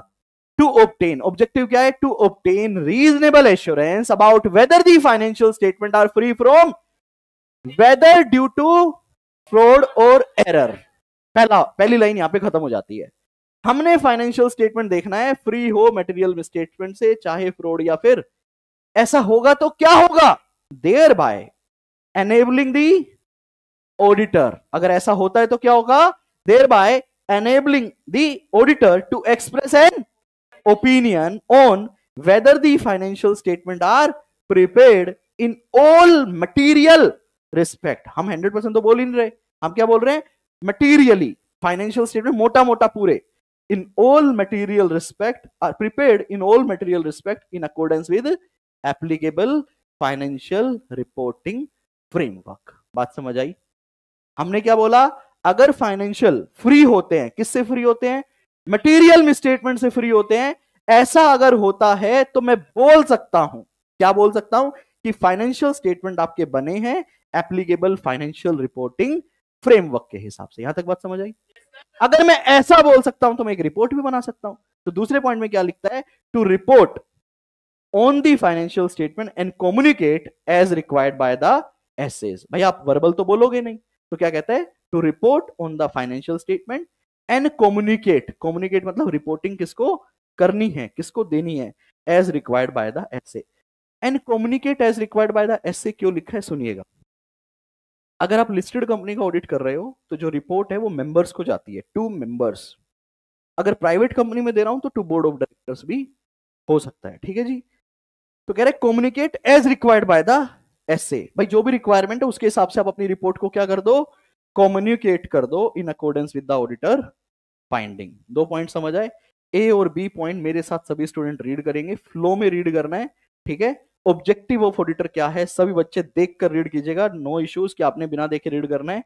क्या कहता है? To obtain reasonable assurance about whether the financial statement as a whole are free from whether due to error by enabling the auditor to express an on whether the financial statement are prepared in all material respect in accordance with applicable reporting framework and to report on the financial statement report and communicate as required by the essays in accordance with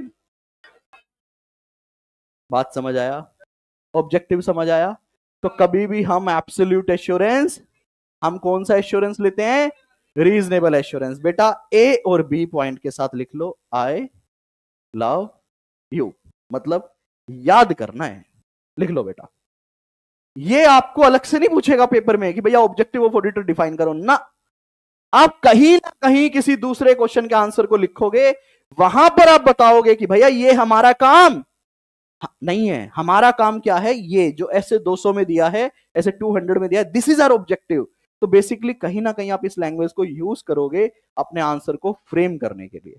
तो ये language जो है, ये आपको याद करनी है as it is लिख लीजिए आपको जैसे भी लिखना है। समझ आया बेटा? देखो क्लास का सबसे बड़ा फ़ायदा ही ये है कि आपको ये पता चलता है क्या याद करना है, क्या रीड करना है, क्या स्किप करना है। इतने सारे कंटेंट में से एक रेलेवेंट कंटेंट निकल के आपके लिए आ जाता है। तो यहाँ पे मैं एल लिख रहा हूँ। लेकिन इस लर्न के लिए मैं एज इट इज़ भी लिख रहा हूँ। ठीक है? मैं काफ़ी जगह पे बोलूँगा लर्न करना है, लेकिन वहाँ पे सिर्फ़ आपको कीवर्ड लर्न करने हैं। आप अपने हिसाब से लिख सकते हैं। लेकिन कुछ कंसेप्ट ऐसे आएँगे जहाँ पे मैं बोलूँगा एज इट इज़ जैसे independence of mind and independence in appearance जो वो दो दो लाइन थी ना, वो एज इट इज़ याद करनी है। बाकी सब आप लर्निंग में रखिएगा। समझ आया यहाँ तक? आगे बढ़ सकते हैं। Now the next two line please इनको देखिएगा। ये अब आपको नहीं समझ आएगी and I have to start with a different chapter ये एक लाइन मुझे चैप्टर वन से ले जाएगी चैप्टर नंबर टेन पे। क्या कहता है देखिएगा। And this is the style of C A Kapil Goyal की। वो कभी भी रटवाता नहीं है। हमेशा समझाने की कोशिश करते चाहे अपने को एक दूसरा चैप्टर स्टार्ट करना पड़े। आपको पता नहीं है, मैं चैप्टर फोर का पूरा एक कंसेप्ट करवा चुका हूँ आपको। चैप्टर फोर का, जो कि अभी शायद इस बार मैं उसको चैप्टर थ्री कर दूँ, उसका हम एक पूरा कंसेप्ट कर चुके हैं। And today we are going to start chapter nine और टेन मतलब अगर सीरियस चेंज सीरीज़ चेंज हो जाएगी दो चैप्टर की। देखिएगा, एक लाइन पढ़िएगा मेरे साथ। यहाँ तक समझ आ गया objective in all the cases ये अलग लाइन है सेपरेट लाइन है। लास्ट बेंच बेटा आपका ध्यान मेरी तरफ़ ही है। In all the cases when reasonable assurance cannot be obtained, यहाँ तक समझो सिर्फ़। क्या कहता है? In all the cases when reasonable assurance इसका मतलब क्या है? अभी यहीं तक। कि मैं मतलब ओपिनियन दे ही मेरे को रीजनेबल एश्योरेंस ही नहीं मिल रहा। एब्सोल्यूट तो मिल ही नहीं सकता। मैं क्या लूँगा? कह रहे reasonable assurance can not obtained तो क्या मैंने ऑडिट किया? क्या मैं कर पा रहा हूँ ऑडिट क्या कहता है in all the cases when reasonable assurance reasonable assurance क्या था? भूल गया मैं। हाई लेवल एश्योरेंस हम जब भी काम करेंगे, जब भी ओपिनियन देंगे, जब भी ट्रू एंड फेयर व्यू बोलेंगे कि this financial statement giving a true and इसका मतलब हमें किस तरह का एश्योरेंस चाहिए? हाई लेवल ऑफ़ एश्योरेंस अगर लो लेवल ऑफ़ एश्योरेंस मिलेगा तो ओपिनियन दे दोगे ट्रू एंड फेयर नहीं देंगे। मेरे को यहाँ एश्योरेंस चाहिए तो यही चाहिए। अगर इससे नीचे आएगा तो मैं ट्रू एंड फेयर फिर मैं कुछ और दूँगा। ट्रू एंड फेयर व्यू तो नहीं दे पाऊँगा। तो क्या कहता है? In all the cases reasonable assurance can not be obtained and and a qualified opinion. In the auditor report is insufficient comma the essay require that the auditor disclaim an opinion or withdraw from the engagement or withdraw from the engagement अगर word missing है तो please लिख लीजिएगा and uh, withdraw from the engagement समझ आया घंटा समझ आया क्या समझ आया क्वालिफाइड ओपिनियन क्या है नहीं नहीं है ना ये डिस्क्लेमर क्या है? नहीं नहीं समझ आया ना, नहीं समझ आया। इसका मतलब ये है, आज हमें हमारी क्लास चैप्टर वन पे रोकनी पड़ेगी। सर, पहले आउटपुट समझाओ। फिर हम स्टार्ट करेंगे ज़ीरो से उस आउटपुट को अचीव करने के लिए। तो आज मैं आपके साथ ऑडिट का प्लानिंग डिस्कस नहीं कर रहा, ना ही एग्जीक्यूशन डिस्कस कर रहा हूँ। आज मैं आपके साथ क्या डिस्कस कर रहा हूँ ऑडिट का रिपोर्टिंग हमारे ऑडिट में तीन स्टेजेस होते हैं प्लानिंग एग्जीक्यूशन रिपोर्टिंग तो आज मैं आपके साथ क्या डिस्कस करने जा रहा हूँ? रिपोर्टिंग रिपोर्टिंग ठीक है? सुनिएगा कुछ गोल्डन रूल समझाऊँगा बस ज़्यादा नहीं टेक्निकल नहीं जाएँगे आज। अगर हम रिलायंस के फाइनेंशियल स्टेटमेंट चेक कर रहे हैं मैंने एक एक आइटम को चेक किया वॉक थ्रू किया टीओसी किया टीओडी किया अदर ऑडिट प्रोसीजर लगाए एविडेंसेस कलेक्ट किए उनको चेक किया सब डॉक्यूमेंट किया सब कुछ सही था। एक एक एरिया को मैं चेक करते हुए चला गया। सब कुछ सही था, सारे डॉक्यूमेंट्स मिल गए। क्लाइंट से जो पूछा, उसने सब बता दिया। एवरीथिंग इज़ परफेक्टली फाइन तो क्या मुझे रीजनेबल एश्योरेंस मिला? क्या मुझे रीजनेबल एश्योरेंस मिला पीछे वालों? तो क्या मुझे ट्रू एंड करेक्ट व्यू दे दें? कौन सा देंगे? ट्रू एंड फेयर व्यू क्या देंगे? यहाँ तक किसी को कोई दिक्कत? यहाँ तक किसी को कोई दिक्कत? नहीं। अब मैं आपको बताता हूँ, अगर सब कुछ सही नहीं है तो आप क्या ओपिनियन दोगे? मान लीजिए, एक एग्ज़ाम्पल लेते हैं। मेरे को स्टेज पे दो बंदे चाहिए। कोई आना पसंद करेगा?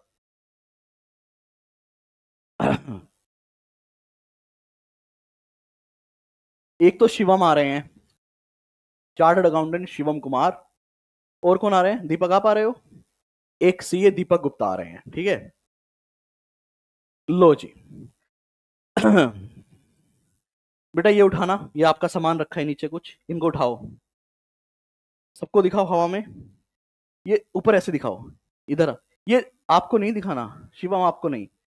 ये दीपक है। ये क्या लेके आए हो दीपक? क्या लेके चल रहे हो तुम? पता नहीं क्या है। दीपक ना, कुछ लेकर आए हैं आज। देख रहे हो कुछ? पेटी वेटी है किसी चीज़ की। दारू तो नहीं है इसमें। मैंने पूछा, दारू तो नहीं है इसमें? कह रहा है, होएगी तो बढ़िया है। इससे ना मुझे एक एग्जांपल याद आ गया हमारा। बताऊँ बीच में? ऑलवेज तैयार हो कंसेप्ट जाने तो तेल में, आप बताओ। भाई, हम ना गुजरात जा रहे थे एक बार। मतलब मैं पुणे जा रहा था गाड़ी से, बीच में गुजरात आता है। तो मैंने ना कुछ बोतल रखी हुई थी गाड़ी में एक दो। मेरी अपनी स्पेशल कुछ कलेक्शन है, वो पुणे में नहीं मिलती। तो मैंने गाड़ी में रख ली। अग्रिमा ने मेरे को पहले वोन किया था कि गुजरात आएगा रास्ते में और बॉर्डर पे बेटा गाड़ी चेक होएगी होएगी। तुम पकड़े जाओगे, तुम्हारे साथ साथ मुझे भी अंदर करोगे। मैंने कहा, घबराओ नहीं आई विल हैंडल इट तो मैंने क्या क्या, अपनी कलेक्शन रखी और एक बोतल एक्स्ट्रा नॉर्मल वाली भी रख ली ब्लैक लेबल टाइप ठीक है? गुजरात बॉर्डर पहुँचे। उन्होंने चेक तो करना ही है बेटा, वो डिटेल चेकिंग करते हैं बढ़िया से। उन्होंने कहा, ये क्या है? मैंने कहा, भैया, पंद्रह बीस दिन के लिए जा रहा हूँ। अपना जुगाड़ तो साथ लेके जाऊँगा ना। वो कह रहे तो पता नहीं, अलाउड नहीं है। मैंने कहा, यार, आप भी ले लो ना। कह रहा, ठीक है काम कर, आगे चाय वाली दुकान है, उस पर रखवा देना। तो इसने भी वही किया। मैंने कहा, दारू तो नहीं। कह रहा, नहीं है, वो तो बढ़िया है। लो जी, वैसे क्या है, मैं देख लू? नाराज़ तो नहीं जाओगे? भाई, क्या लेके आए हो तुम सुबह सुबह क्लास में ये? गलत बात है ये। कागज़ वागज से ढक के लाया, देख रहे हो? संतरे लाया है, भाई। क्लास में संतरे लाते हो तुम। सारे सही चीज़ नहीं है क्लास के लिए। संतरे लाए ठीक है जी। एग्ज़ाम्पल स्टार्ट करते हैं। अब कैसे हैं वो तो ये बताएगा। तो भाई, दीपक क्लास में ले आया संतरे की पेटी ऑरेंजेस ठीक है। अब शिवम कह रहा है, भाई, मैं लूँगा सारे। सारे संतरे खरीदने इसने। लेकिन लेकिन, अब शिवम को ना संतरों की नॉलेज नहीं है। कि इस, ये बंद है। ये बंद है पेटी ये किसकी है? दीपक की। खरीदनी किसने है? ये कह रहा है, भाई साहब, दीपक, मैं खरीदने के लिए तैयार हूँ। क्या इसमें सारे बढ़िया ऑरेंजेस हैं आपके? ये कहेगा, भाई साहब, बिल्कुल बढ़िया है, आप निश्चिंत होकर ले जाओ। वो कह रहे हैं, नहीं नहीं। ये एक पेटी नहीं है, ये एक पेटी सैंपल के लिए है। पूरा ट्रक है जिसके अंदर एक लाख पेटी है। वो कह रहा है, भाई साहब, ऐसे नहीं खरीदूँगा। मैं इनको पहले क्या करवाऊँगा? चेक करवाऊँगा। और अगर चेकिंग में क्वालिटी सही मिली तो मैं सब खरीद लूँगा। शिवम ने कहा, मैं इस चीज़ में एक्सपर्टीज होल्ड मैं एक काम करता हूँ, हमारे एक सीए कपिल गोयल साहब हैं। उनको बड़ी नॉलेज है संतरों की तो एक काम करता हूँ, मैं उनको हायर करता हूँ इस काम के लिए। वो चेक करेंगे। अगर उन्होंने चेक किए और उन्होंने बोल दिया, बढ़िया है तो बढ़िया है। अब आपने मुझे असाइनमेंट दे दिया। मैंने आपके साथ एक एग्रीमेंट कर लिया कि सब सही है तो दस पेटी मैं लेके जाऊँगा। डन है। तो शिवम ने काम दे दिया कपिल को। शिवम का काम खत्म हुआ। अब आप रिपोर्ट ले लेना मुझसे। आप बैठो। अब दीपक रह गया। दीपक कौन है? ओनर ऑफ़ दिस ऑरेंजेस किसान है ये, मान लो। ये आते कह रहे सर दारू पियोगे मैंने कहा, भाग जा साले। मैं ऑडिटर हूँ। और मैं कौन सा ऑडिटर हूँ? इंडिपेंडेंट ऑडिटर हूँ। मेरे अंदर इंटीग्रिटी कूट कूट कर भरी गई है। तू ये मेरे को नहीं बहका पाएगा, मैं चेक करूँगा सारे। उसने कहा, कर लो भाई साहब। ठीक है? कर लू? पक्की बात है। पहला केस तो ये हो सकता है, भाई ने ओपन छूट दे दी, मैंने कागज़ हटाया। ओ भाई साहब, संतरे संतरे, में सारे चेक कर रहा हूँ बढ़िया से। सब बढ़िया है। फिर मैंने इससे पूछा, भाई, ये वेराइटी कौन सी है? इसने मुझे वेराइटी बता दी। मैंने कहा अच्छा और चेक कर लू? उसने कहा, भाई, पूरी पेटी आपके सामने, जितना करना है करो। मैंने और अगली लेयर पे पहुँच गया मैं। मैंने चेक किया। इसने कोई रोक टोक नहीं की। मैंने सब चेक किया। बढ़िया से मैंने एक आध मान लो छिला, उसको खाया टेस्ट बढ़िया था। ले कैच कर जल्दी। ठीक है? टेस्ट करके बता। तो सब कुछ सही निकला। मैं शिवम को क्या रिपोर्ट दूँ? ऑरेंजेस बढ़िया है? या बेकार है? भाई, शिवम ऑरेंजेस बढ़िया है? खरीद ले आँख बंद करके। मैं रिपोर्ट दे रहा हूँ मेरी फ़ीस तू भिजवा देना। पहला एग्ज़ाम्पल किसी को कोई दिक्कत? किसी को कोई दिक्कत? बेटा समझना ये एग्ज़ाम्पल पेपर में याद आएगा और पाँच नंबर का क्वेश्चन लिखोगे आप। अगली सिचुएशन ये वापस लगा एक कागज़। अगली सिचुएशन ठीक है? समझना पेटी बंद है। लाइव वालों, तुम्हें दिख तो रही है ना? पता चले सर, आप बोलो, हमें तो कुछ दिख ही नहीं रहा। इसने मुझे बुलाया, सर चेक करो। मैं आ गया, मैंने कहा चेक करेंगे? इसने कहा, कर लो। मैंने कहा, कर लो, पक्की बात है। कोई बीच में रोक ले। नहीं, मैंने एक ऑरेंज निकाला। क्या बात है। बढ़िया कैच शिवम भाई कैच कर, तू भी क्वालिटी देख ले तेरी। मैंने बढ़िया देखा इसको, बढ़िया तरीके मैंने कागज़ हटाया। मैंने और निकाला। मैंने कहा, बढ़िया है। ठीक है। अब मेरा हाथ पकड़ना। अब मैं और चेक कर रहा हूँ तो मैंने एक लेयर और हटाई। और ये भाई मेरा हाथ पकड़ लेता है। पकड़ना।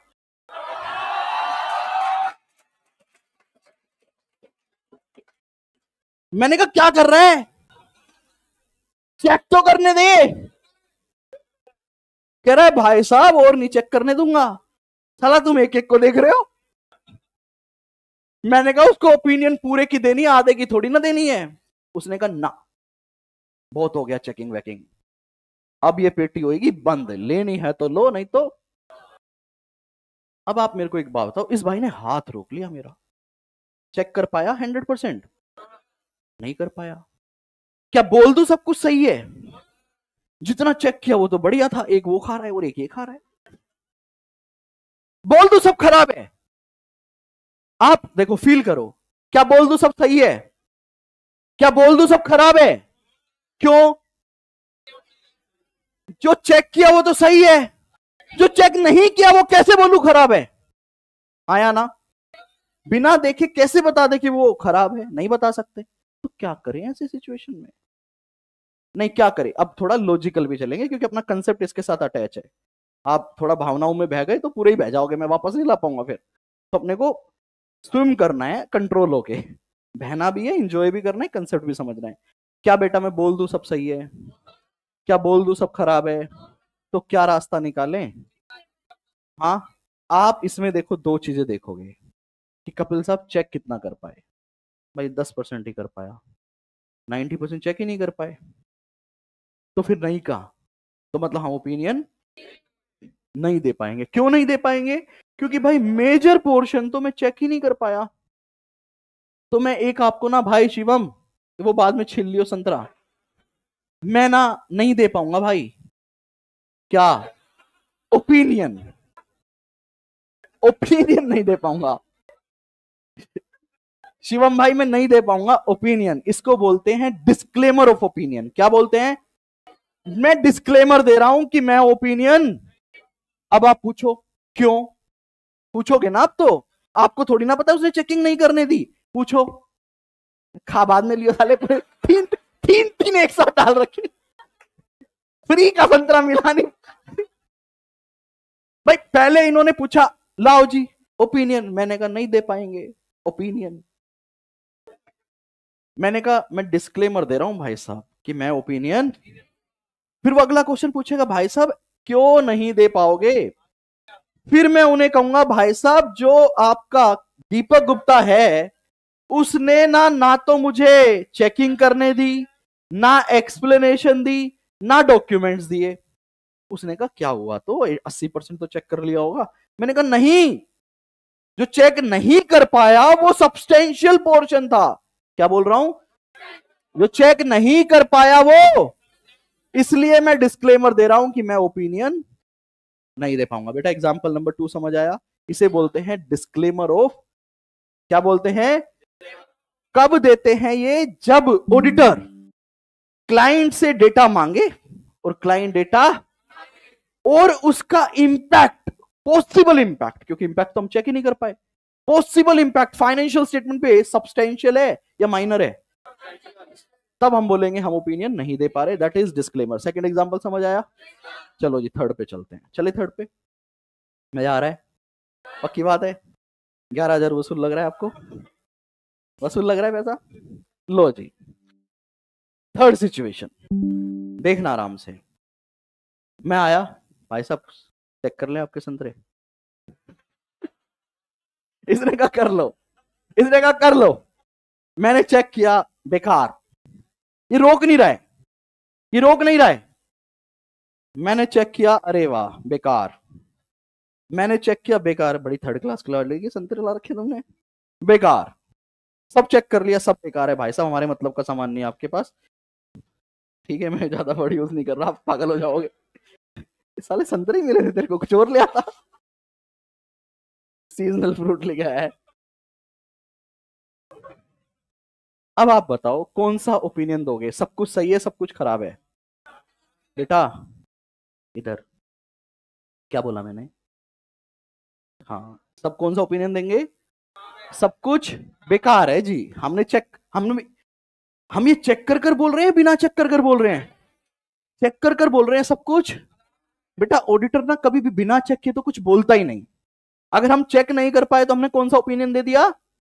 डिस्क्लेमर ऑफ़ कौन सा ओपिनियन दिया था? अगर मैंने चेक कर लिया, सब चेक करने दिया और सब कुछ ही खराब था, ये सब कुछ छोड़ो। सेवेंटी परसेंट खराब था मतलब मेजर पोर्शन तो बोल दो सब सही है। बोल दो मैं ऑडिट ही नहीं कर पाया। अरे कर तो लिया। बोल दो सब खराब है। भाई यहाँ मेजर खराब है तो खराब है। नहीं तो फिर हम बोल देंगे, भैया एट्टी परसेंट ठीक है ट्वेंटी खराब। तो अपने केस में तो सब कुछ खराब था। इस ओपिनियन को क्या बोलते हैं? ना, इसको डिस्क्लेमर तो जब चेक नहीं कर पाए, इसको बोलते हैं एडवर्स उल्टा। होना चाहिए था ट्रू एंड फेयर उसका बिल्कुल उल्टा एडवर्स इसे क्या बोलते हैं? तो देखो, दो ओपिनियन बड़ी सोर्टेड होती है हमेशा। एक जब बिल्कुल सही है सब ट्रू एंड जब बिल्कुल खराब है सब एडवर्स सब कुछ ही खराब है। बिना चेकिंग के बोलोगे चेकिंग करके बोलोगे। चेकिंग करके। अगर कुछ आखिरी में चेक नहीं करने दिया, दस बीस परसेंट पेंडिंग है तो भी फिर एडवर्स जाएगा। ठीक है? क्योंकि मेजर पोर्शन आपका खराब है। और अगर चेकिंग ही नहीं करने दी और मेजर पोर्शन चेक नहीं करने दिया तो? डिस्क्लेमर अब दो एग्ज़ाम्पल जो कि जहाँ बच्चे गलती करते हैं, वो समझा रहा हूँ, ध्यान से समझना। यहाँ तक किसी को कोई दिक्कत? बड़े एग्ज़ाम्पल है। अगला देखेगा अलाउड है? कह रहा, सर, हमने पेटी खोल रखी है, जो करना है करो, बार बार पूछो नहीं। लो जी। भाई साहब, कौन सी क्वालिटी है ये? कश्मीर से सले ऑरेंज कब से आने लगा?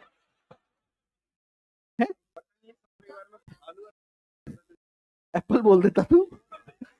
लो जी। पंजाब के कितने लोग हैं? पंजाब से कोई? बेटा किन्नू की पेटी ले आना, अगली बार आओ तो। ठीक है? लो जी। चेक कर रहा हूँ मैं। भाई चेक करने दे रहा है। फिफ्टी परसेंट चेक कर चुका हूँ, अभी तक सब सही है। लो जी सिक्सटी परसेंट चेक हो गया। ठीक है? सेवेंटी परसेंट चेक हो गया, सब सही है। ये आखिरी लेयर है।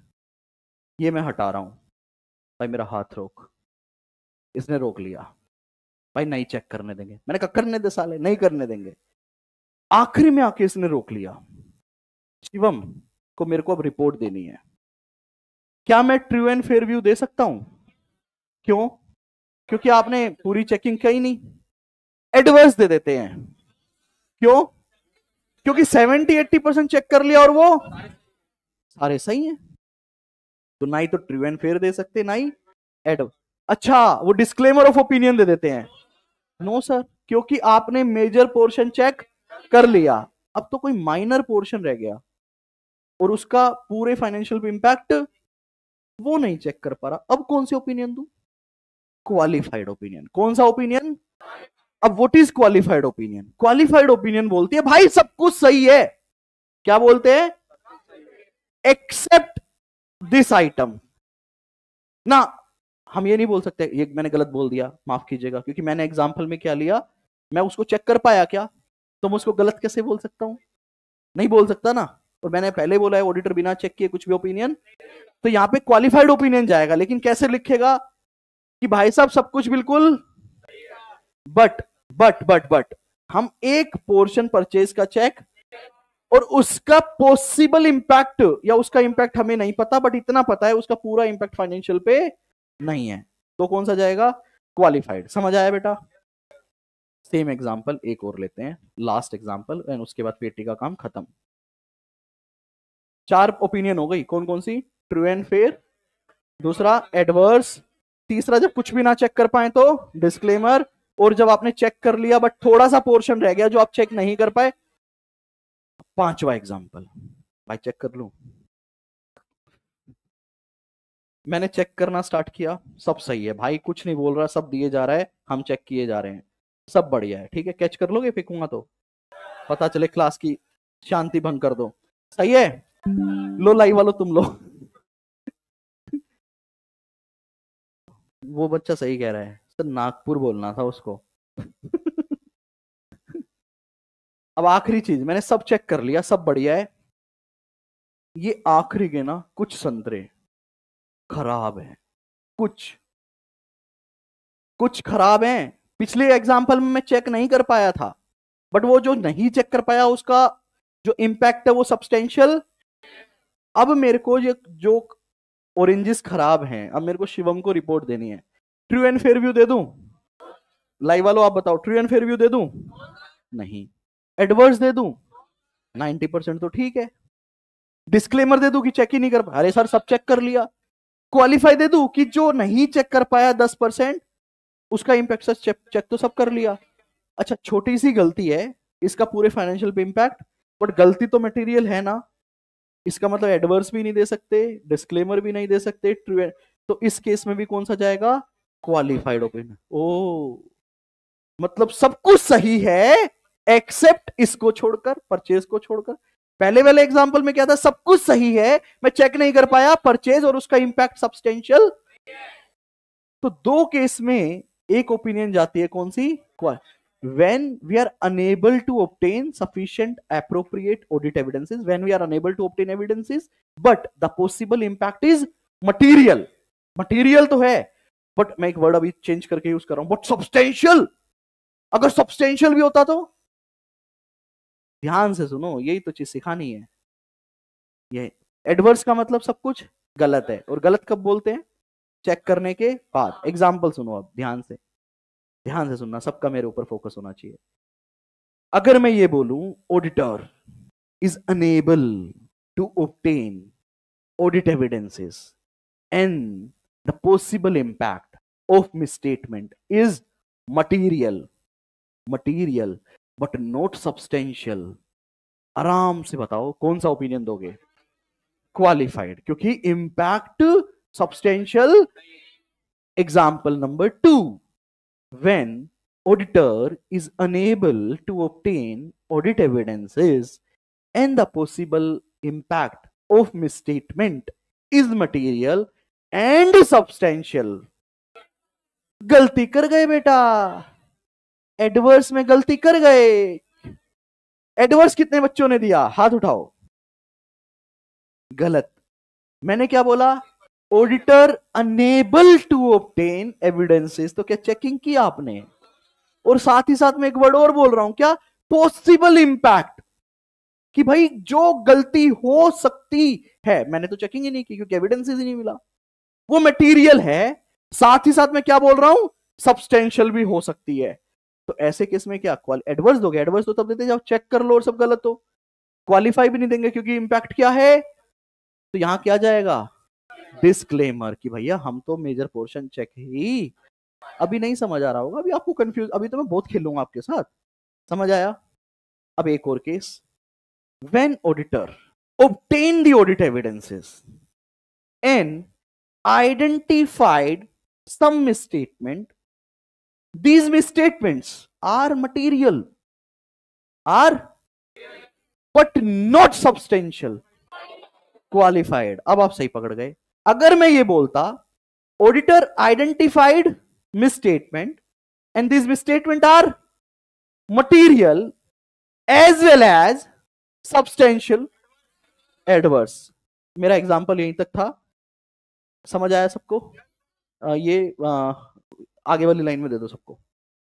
या एक काम करो, रुको। सबसे पीछे वो जो कोने में उधर वाले बच्चे हैं ना, उनको दो। ठीक है? अब अब अपन अपना टेस्ट करेंगे इस चीज़ को। थैंक यू आज अभी अभी आपको आने के लिए। Thank you Shivam. Thank you Deepak. देखिएगा आप। अब मेरे को बताओ, आपने सब चेकिंग कर ली, सारे एविडेंसेस ऑप्टेन कर लिए, सब सही है। कौन सा ओपिनियन जाएगा? कौन सा ओपिनियन जाएगा? ट्रू एंड फेयर व्यू सब चेकिंग की, सारे एविडेंसेस लिए मटेरियल स्टेटमेंट मिली और आपको इंपैक्ट भी सब्सटेंशियल मिला। कौन सा ओपिनियन जाएगा? मैं दोबारा सुनो ध्यान से। आपने चेकिंग की ऑडिट एविडेंसेस लिए मटेरियल मिसस्टेटमेंट्स मिली। मटेरियल मिसस्टेटमेंट मिली तो मतलब मटेरियल तो है और साथ ही साथ मैं बोलूँ सब्सटेंशियल है। एडवर्स आपने चेकिंग करना स्टार्ट किया मैनेजमेंट ने आपको एविडेंसेस नहीं दिए। जो, बेटा लिसन माय क्वेश्चन फ़र्स्ट अभी आपको गलत करता हूँ, लो। आपने चेकिंग की मैनेजमेंट ने आपको एविडेंसेस नहीं दिए। The possible impact of misstatement is material but not substantial तो डिस्क्लेमर कहाँ हुआ? क्वालिफाइड अगला एग्जांपल हमने ऑडिट करना स्टार्ट किया मैनेजमेंट ने ऑडिट एविडेंसेस नहीं दिए। The possible impact of misstatement is material as well as substantial disclaimer क्योंकि आप मेजर पोर्शन पे चेकिंग नहीं कर पाए। आपने ऑडिट एविडेंसेस ऑप्टेन किए मटेरियल मिसस्टेटमेंट मिली मटेरियल मिसस्टेटमेंट आर सब्सटेंशियल बताओ material misstatement are substantial after checking आप बोल रहे हो ये एडवर्स समझ आया यहाँ तक अब अपन धीरे धीरे आगे बढ़ेंगे ओपिनियन में और आपका रिवीजन मल्टीपल टाइम करेंगे जिन बच्चों को नहीं समझ आएगा मैं इंडिविजुअली समझाऊँगा अभी क्लास में अब सब्सटेंशियल वर्ड को मैं चेंज कर देता हूँ क्योंकि हमारी ऑडिट की लैंग्वेज में सब्सटेंशियल वर्ड नहीं चलेगा ठीक है तो सब्सटेंशियल की जगह हम वर्ड यूज़ करते हैं परवेजिव ये क्या हो गया इसको? मज़ा आया आपको वैसे कंसेप्ट समझने में? ईमानदारी से बताना कितने बच्चों को समझ आ गया, पहले तो ये बताओ। नीचे करो। लाइव वालों, आप भी बताना। अब बताओ कितने बच्चों को नहीं समझ आया। हैंड रेस कीजिए। मैं दोबारा फिर रिपीट करूँगा। One two three four five six और उठाओ बेटा। डोंट डोंट वरी अभी हम गलती करेंगे। अभी हम दोबारा डिस्कस करेंगे, लेकिन अगर आज आपने इस कंसेप्ट को छोड़ दिया ना तो बहुत सारे कंसेप्ट हिल जाएँगे।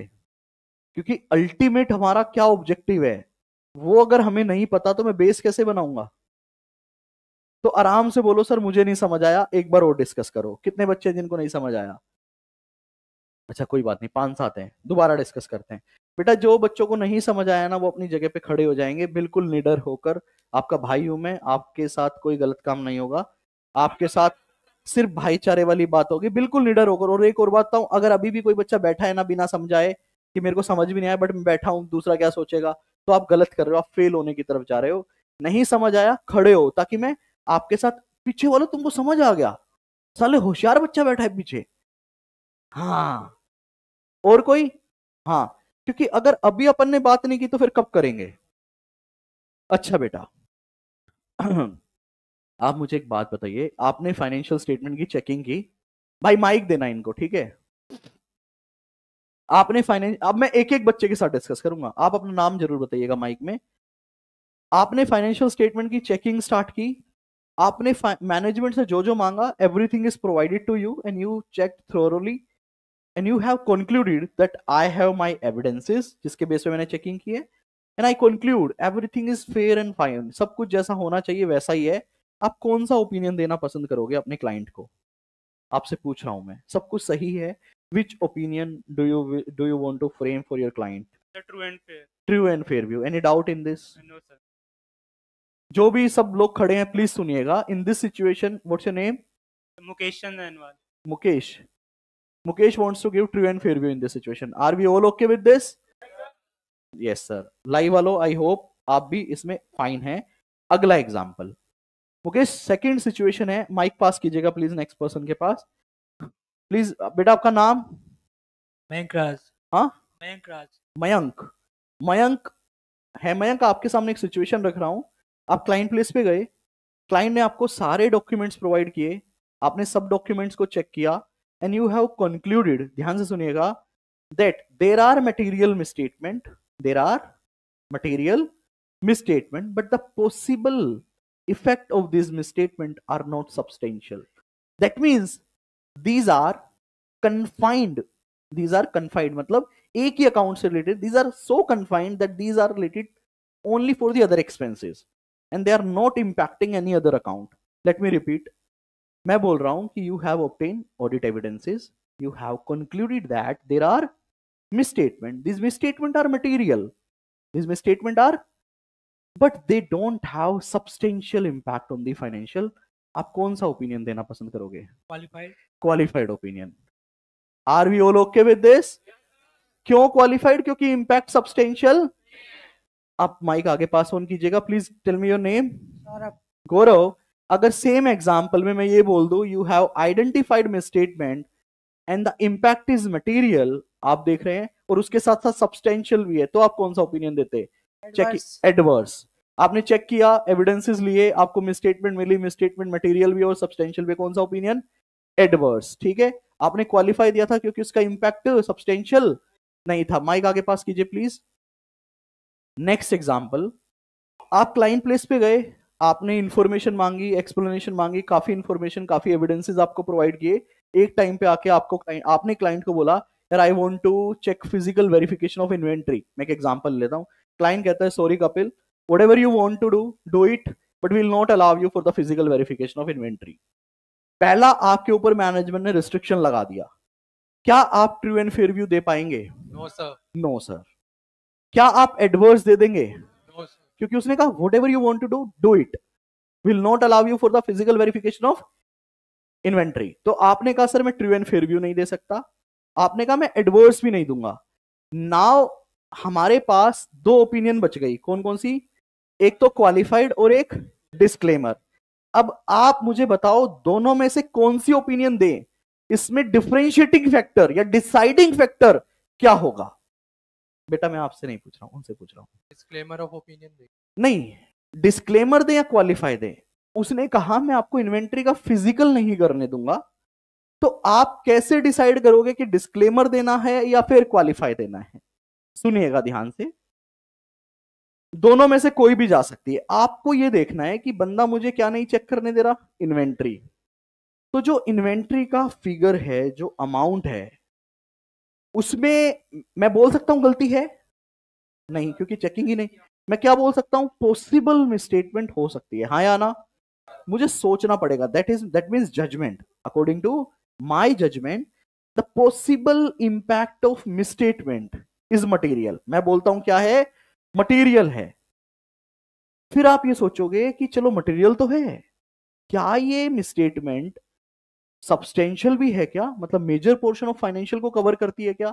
अगर आपका आंसर आता है यस देन तो आप कौन सा ओपिनियन दोगे? डिस्क्लेमर कि भैया हम ऑडिटी मेजर पोर्शन नहीं। अगर आपको लगता है कि यार मटेरियल मिसस्टेटमेंट तो है पॉसिबल इंपैक्ट बट सब्सटेंशियल नहीं है तो आप कौन सा दोगे? क्वालिफाइड ओपिनियन समझ आया? हाँ जी, सबको समझ आया इस बार? क्लियर है? चलो अभी दोबारा भी क्लियर करेंगे, एक बार सही बैठे। आई होप कुछ लोगों को समझ आया होगा, कुछ को अभी भी नहीं समझ आया होगा। डोंट वरी अभी तो मैंने सिर्फ़ आपको फ्लो बताया है will discuss it again in detail चलिए जी आई थिंक मेरे को लैपटॉप शट अप यहाँ तो काम कर रहा है।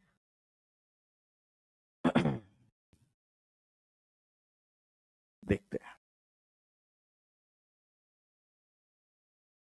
चैप्टर नंबर टेन में आपके साथ स्टार्ट कर रहा हूँ।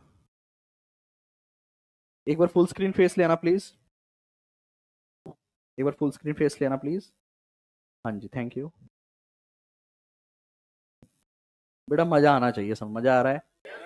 बहुत बढ़िया।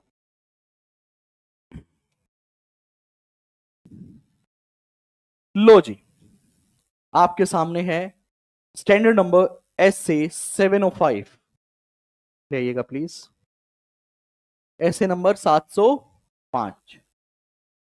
जो कि बोलता है, एक इससे ऊपर एक ऐसे है, ऐसे number seven double O.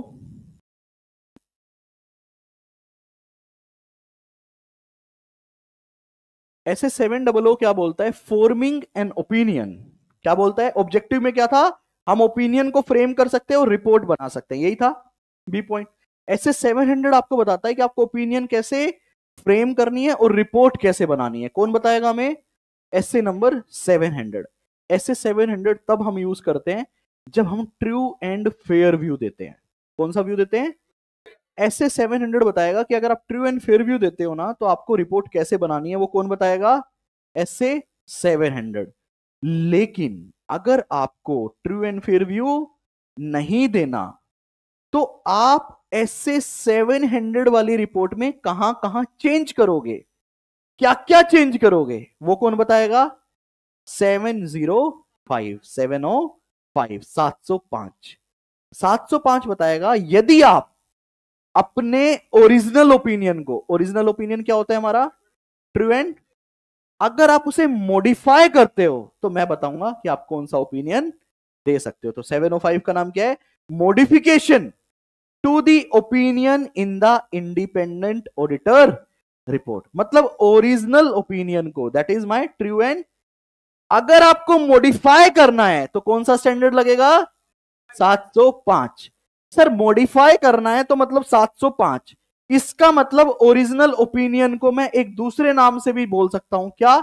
Unmodified opinion कौन सा ओपिनियन भाई, हमने 705 के हिसाब से 705 के हिसाब से कोई भी मॉडिफिकेशन इसलिए ये ओपिनियन कैसा है? एज इट इज़ जैसा होना चाहिए। मतलब अनमोडिफाइड ओपिनियन तो अगर मैं कभी आपसे बोलूँ, बेटा, हम क्लाइंट को अनमोडिफाइड ओपिनियन दे देंगे तो आप ये मत कौन सी अनमोडिफाइड मतलब ट्रू एंड फेयर हमने कौन सा एश्योरेंस ले लिया?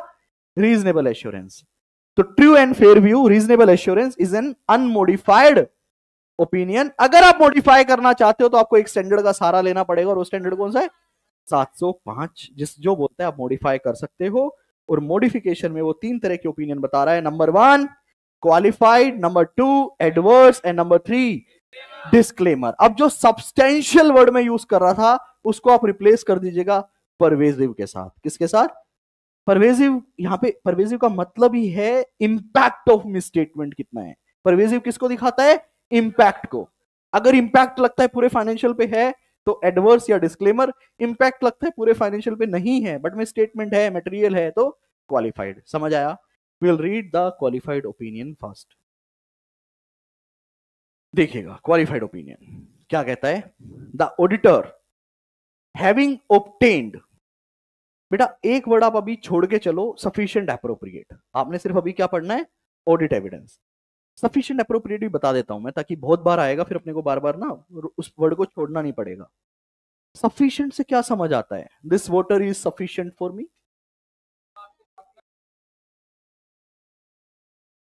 क्या? क्वांटिटी क्या समझ आया? कि यार this quantity is fine for me 60 M is fine for me मेरा इससे ऊपर कैपेसिटी नहीं है। तो इट डिनोट्स फॉर क्वांटिटी अभी आया मेरे पास सक्षम सीए सक्षम साहब आ गए। कपिल सर आज आपके साथ पीने का मन है। मैंने कहा, बढ़िया सक्षम, पीते हैं भाई, दोनों भाई पियेंगे थोड़ी थोड़ी ये मेरे को बिठा लिया इसने। बेटा कोई, मेरे को दारू का नाम बता, नीचे वाली रेंज का। है? ब्लैक डॉग ये मेरे सामने बैठा। ये कह रहा, सर हाउ मच मैंने कहा नाइनटी एम एल. इसने कहा, ओके. एग्ज़ाम्पल समझ आते हैं ना आपको ये वाले? हाँ कुछ और समझना है, ये एग्ज़ाम्पल आप ज़रूर याद। मैंने कहा, बेटा सिक्सटी एम एल लड़के आप समझते हो? सर हम भी ब्रीजर वाली हैं सारी। नहीं बेटा, पीना गलत बात है, ठीक है? ये एग्ज़ाम्पल थे कि ठीक है। ठीक है? मैं जूस की बात कर रहा हूँ, बेटा। मैंने कहा जूस पीना है सिक्सटी एम एल तो आपने कहा sir that will be sufficient for me for you मैंने कहा yes yes that will be more than sufficient for me otherwise मैं झूल जाऊँगा। इसने कहा, ठीक है। फिर इसने बोतल निकाली, कौन सी बोली तुमने? ब्लैक डॉग मैंने कहा, ये क्या है? उसने कहा, सर, तीन सौ रुपए की बोतल लाया हूँ आपके लिए ब्लैक डॉग की। मैंने कहा, भाई क्वांटिटी तो ठीक है but quality is not for me yes और नो मैंने कहा दिस बोतल शुड बी अप्रोप्रिएट वो कह रहा, सर, कौन सी लगेगी आपको? मैंने कहा, यार एटलीस्ट तू डबल ब्लैक ले आ, अगर ज़्यादा कुछ नहीं तो गोल्ड ले आ। अब गोल्ड से ऊपर नहीं जा गोल्ड तो लेके आ कम से? उसने कहा, सर, एक काम करो, आप अपना क्रेडिट कार्ड दो। मेरा कंसेप्ट खत्म करता हूँ, चलो ज़्यादा मसाला नहीं लगा रहा। तो आपने क्या सीखा यहाँ पे? कि सफिशियंट का मतलब है क्वांटिटी भाई we should obtain proper quantity of evidences ना ही कम ना ही ज़्यादा। अच्छा ठीक है परचेज की चेकिंग कर रहे हैं सेल्स के एविडेंसेस ले लो। चलेगा क्या? The quality is also good that means that should be appropriate yes और no that should be yes और नो सफिशियंट का मतलब क्या है? Quantity of audit evidence appropriate का मतलब क्या है? क्वालिटी ऑफ़ ऑडिट एविडेंस अभी के लिए इतना काफ़ी है, समझ आया? सफिशियंट क्वांटिटी अप्रोप्रिएटनेस अगर पेपर में ट्रू एंड फोल्स आता है that appropriateness is denotes for the quantity of audit evidence true false. तो यहाँ पे आप सिर्फ़ अप्रोप्रिएटनेस को डिफाइन करेंगे या दोनों को करेंगे? तभी दो नंबर मिलेंगे। You have to explain both the case sufficiency का आपको डेफिनेशन लिखना और अप्रोप्रिएट समझ आया? तो यहाँ पे हमेशा ऑडिटर कौन से एविडेंसेस लेता है? सफिशिएंट एंड आप सिर्फ़ क्वांटिटी पे नहीं खेल सकते, सिर्फ़ क्वालिटी पे नहीं खेल सकते। दोनों बैलेंस्ड होना चाहिए। तो क्या कहता है क्वालिफाइड ओपिनियन में? The auditor having obtained qualify कब दोगे? वो बता रहा है। द ऑडिटर हैविंग obtained संतरे चेक किए थे। Sufficient appropriate audit evidence and conclude that misstatement गलती तो मिली आर मटीरियल गलती तो है और बट नॉट परवेजिव नहीं है भैया। परवेजिव मतलब उसका इंपैक्ट बहुत ज़्यादा। तो कौन सा ओपिनियन दोगे? अगर इसी में ही मैं सिर्फ़ नोट वर्ड हटा दूँ misstatement are material and pervasive adverse मानते हो? एडवर्स पढ़िएगा। The auditor express an adverse opinion when the auditor having obtained sufficient appropriate audit evidence and conclude that misstatement individually or in aggregate. बेटा पूरे financial पे दे रहे हो ना opinion तो? तो इंडिविजुअली मतलब एक अकाउंट और सबको टोटल कर दिया। तो कह रहे हैं मिसस्टेटमेंट इंडिविजुअली और when in the aggregate are both material as well as pervasive भैया, किसी को कोई दिक्कत यहाँ तक? आई थिंक नहीं होनी चाहिए। Now will discuss our main the disclaimer तो डिस्क्लेमर में एविडेंस मिले होंगे या नहीं मिले होंगे? तो वर्ड मिसस्टेटमेंट यूज़ करना चाहिए पॉसिबल मिसस्टेटमेंट यूज़ करना। पॉसिबल चलो जी रीड करते हैं। Disclaimer of opinion the auditor shall भाई, अगर समझ आ जाए तो तालियों के साथ प्लीज़ मेरा मोटिवेशन अभी नहीं, समझ आ जाए तो। अभी नहीं, ऐसी तालियाँ नहीं चाहिए। तालियाँ वो चाहिए जो आपका दिल खुश होकर निकले, वो वाली। डिस्क्लेमर ऑफ़ ओपिनियन क्या कहता है? the auditor shall disclaim an opinion when he is unable to obtain sufficient appropriate audit evidence i am unable to obtain sufficient appropriate audit evidence and he conclude that the possible effect on the financial statement of undetected misstatement क्योंकि मैंने detect तो कर ही नहीं पाया तो मैं word possible और undetected use कर रहा हूं on the financial statement of undetected misstatement could be both material and pervasive. Disclaimer समझ आया? अब एक चीज़ जो आपकी किताब में नहीं है, जो मैं बनवा रहा हूँ और आपने मेरे को आंसर देना है, इसी को दोबारा रीड करेंगे, इसी पैरा को। क्या कहता है? रीड कीजिए। The auditor shall disclaim an opinion ना डिस्क्लेमर हटाओ। The auditor shall blank space ये आपके एग्ज़ाम का क्वेश्चन है ट्रू एंड फॉल्स या एमसीक्यू जवाब आपने देना है। The auditor shall blank space when he is unable to obtain sufficient appropriate audit evidence. And he conclude that the possible effect on the financial statement of undetected misstatement could be material but not pervasive qualified अब आप एक काम कीजिएगा पहले तो आप इसकी picture लीजिएगा भैया फुल स्क्रीन कर दीजिएगा रुको रुको रुको रुको रुको रुको रुको रुको रुको रुको आप पहले ना नोट्स कंप्लीट करते हैं इसको यहाँ पे लेके आना कॉपी पेस्ट ये ए केस हो गया जब आप क्वालिफाइड देते हो. यहाँ पे आपने क्या करना है? बी केस बनाना है. बी केस में बताओ क्या चेंज होगा? Copy paste copy and paste सिर्फ़ आपके दो वर्ड चेंज हो जाएँगे. The auditor shall qualify the opinion कब? When could be could be material but not pervasive ठीक है? अब आप समझ गए? तो ये दूसरा केस हो गया क्वालिफाइड ओपिनियन का। अब आप प्लीज़ पिक्चर ले सकते हैं। अब आप फुल स्क्रीन कर दीजिएगा एक बार। समझ आया? तो तालियाँ बजा सकते हैं आप लोग। ना समझ आया हो तो पूछ लीजिएगा दोबारा। कॉपी एंड पेस्ट में आपने दो वर्ड चेंज करने हैं। पहली लाइन में डिस्क्लेमर की जगह क्या हो जाएगा? क्वालिफाइड और लास्ट लाइन में could be material but not pervasive please picture ले लीजिएगा, क्योंकि मेरे को एक बच्चे ने रिक्वेस्ट किया था कि क्लास में सर पिक्चर लेना। ये टाइम दिया करो मैंने कहा ले लो भैया टाइम डन एक आपसे रिक्वेस्ट है सही बच्चों से, भैया ले आइएगा वापस स्क्रीन पे। और ये हाथ जोड़कर रिक्वेस्ट है। अब जब हाथ जोड़ रहा हूँ तो बड़े भाई के नाते जोड़ रहा हूँ, ठीक है? यार ना नोट्स बना लो नोटबुक में ना साथ साथ जो दूसरी नोटबुक आपने बनाई है नोट्स वाली। फ़र्स्ट पेज पे मार्क्स लिखे, मैंने बोला था फ़र्स्ट पेज मैंने लिखवाया आपके मार्क्स नहीं लिखवाया इस बार? ओ कैसे स्किप कर सकता हूँ मैं ये? लायो नोटबुक सब लोग। कितने स्टूडेंट नहीं लाए? हैंड रेस की जगह कितने स्टूडेंट नहीं लाए? अरे, अभी माफ़ी है पहले कुछ क्लासेस में। जो नहीं लाए, वो हाथ रेस करो। अभी कुछ नहीं बोलूँगा।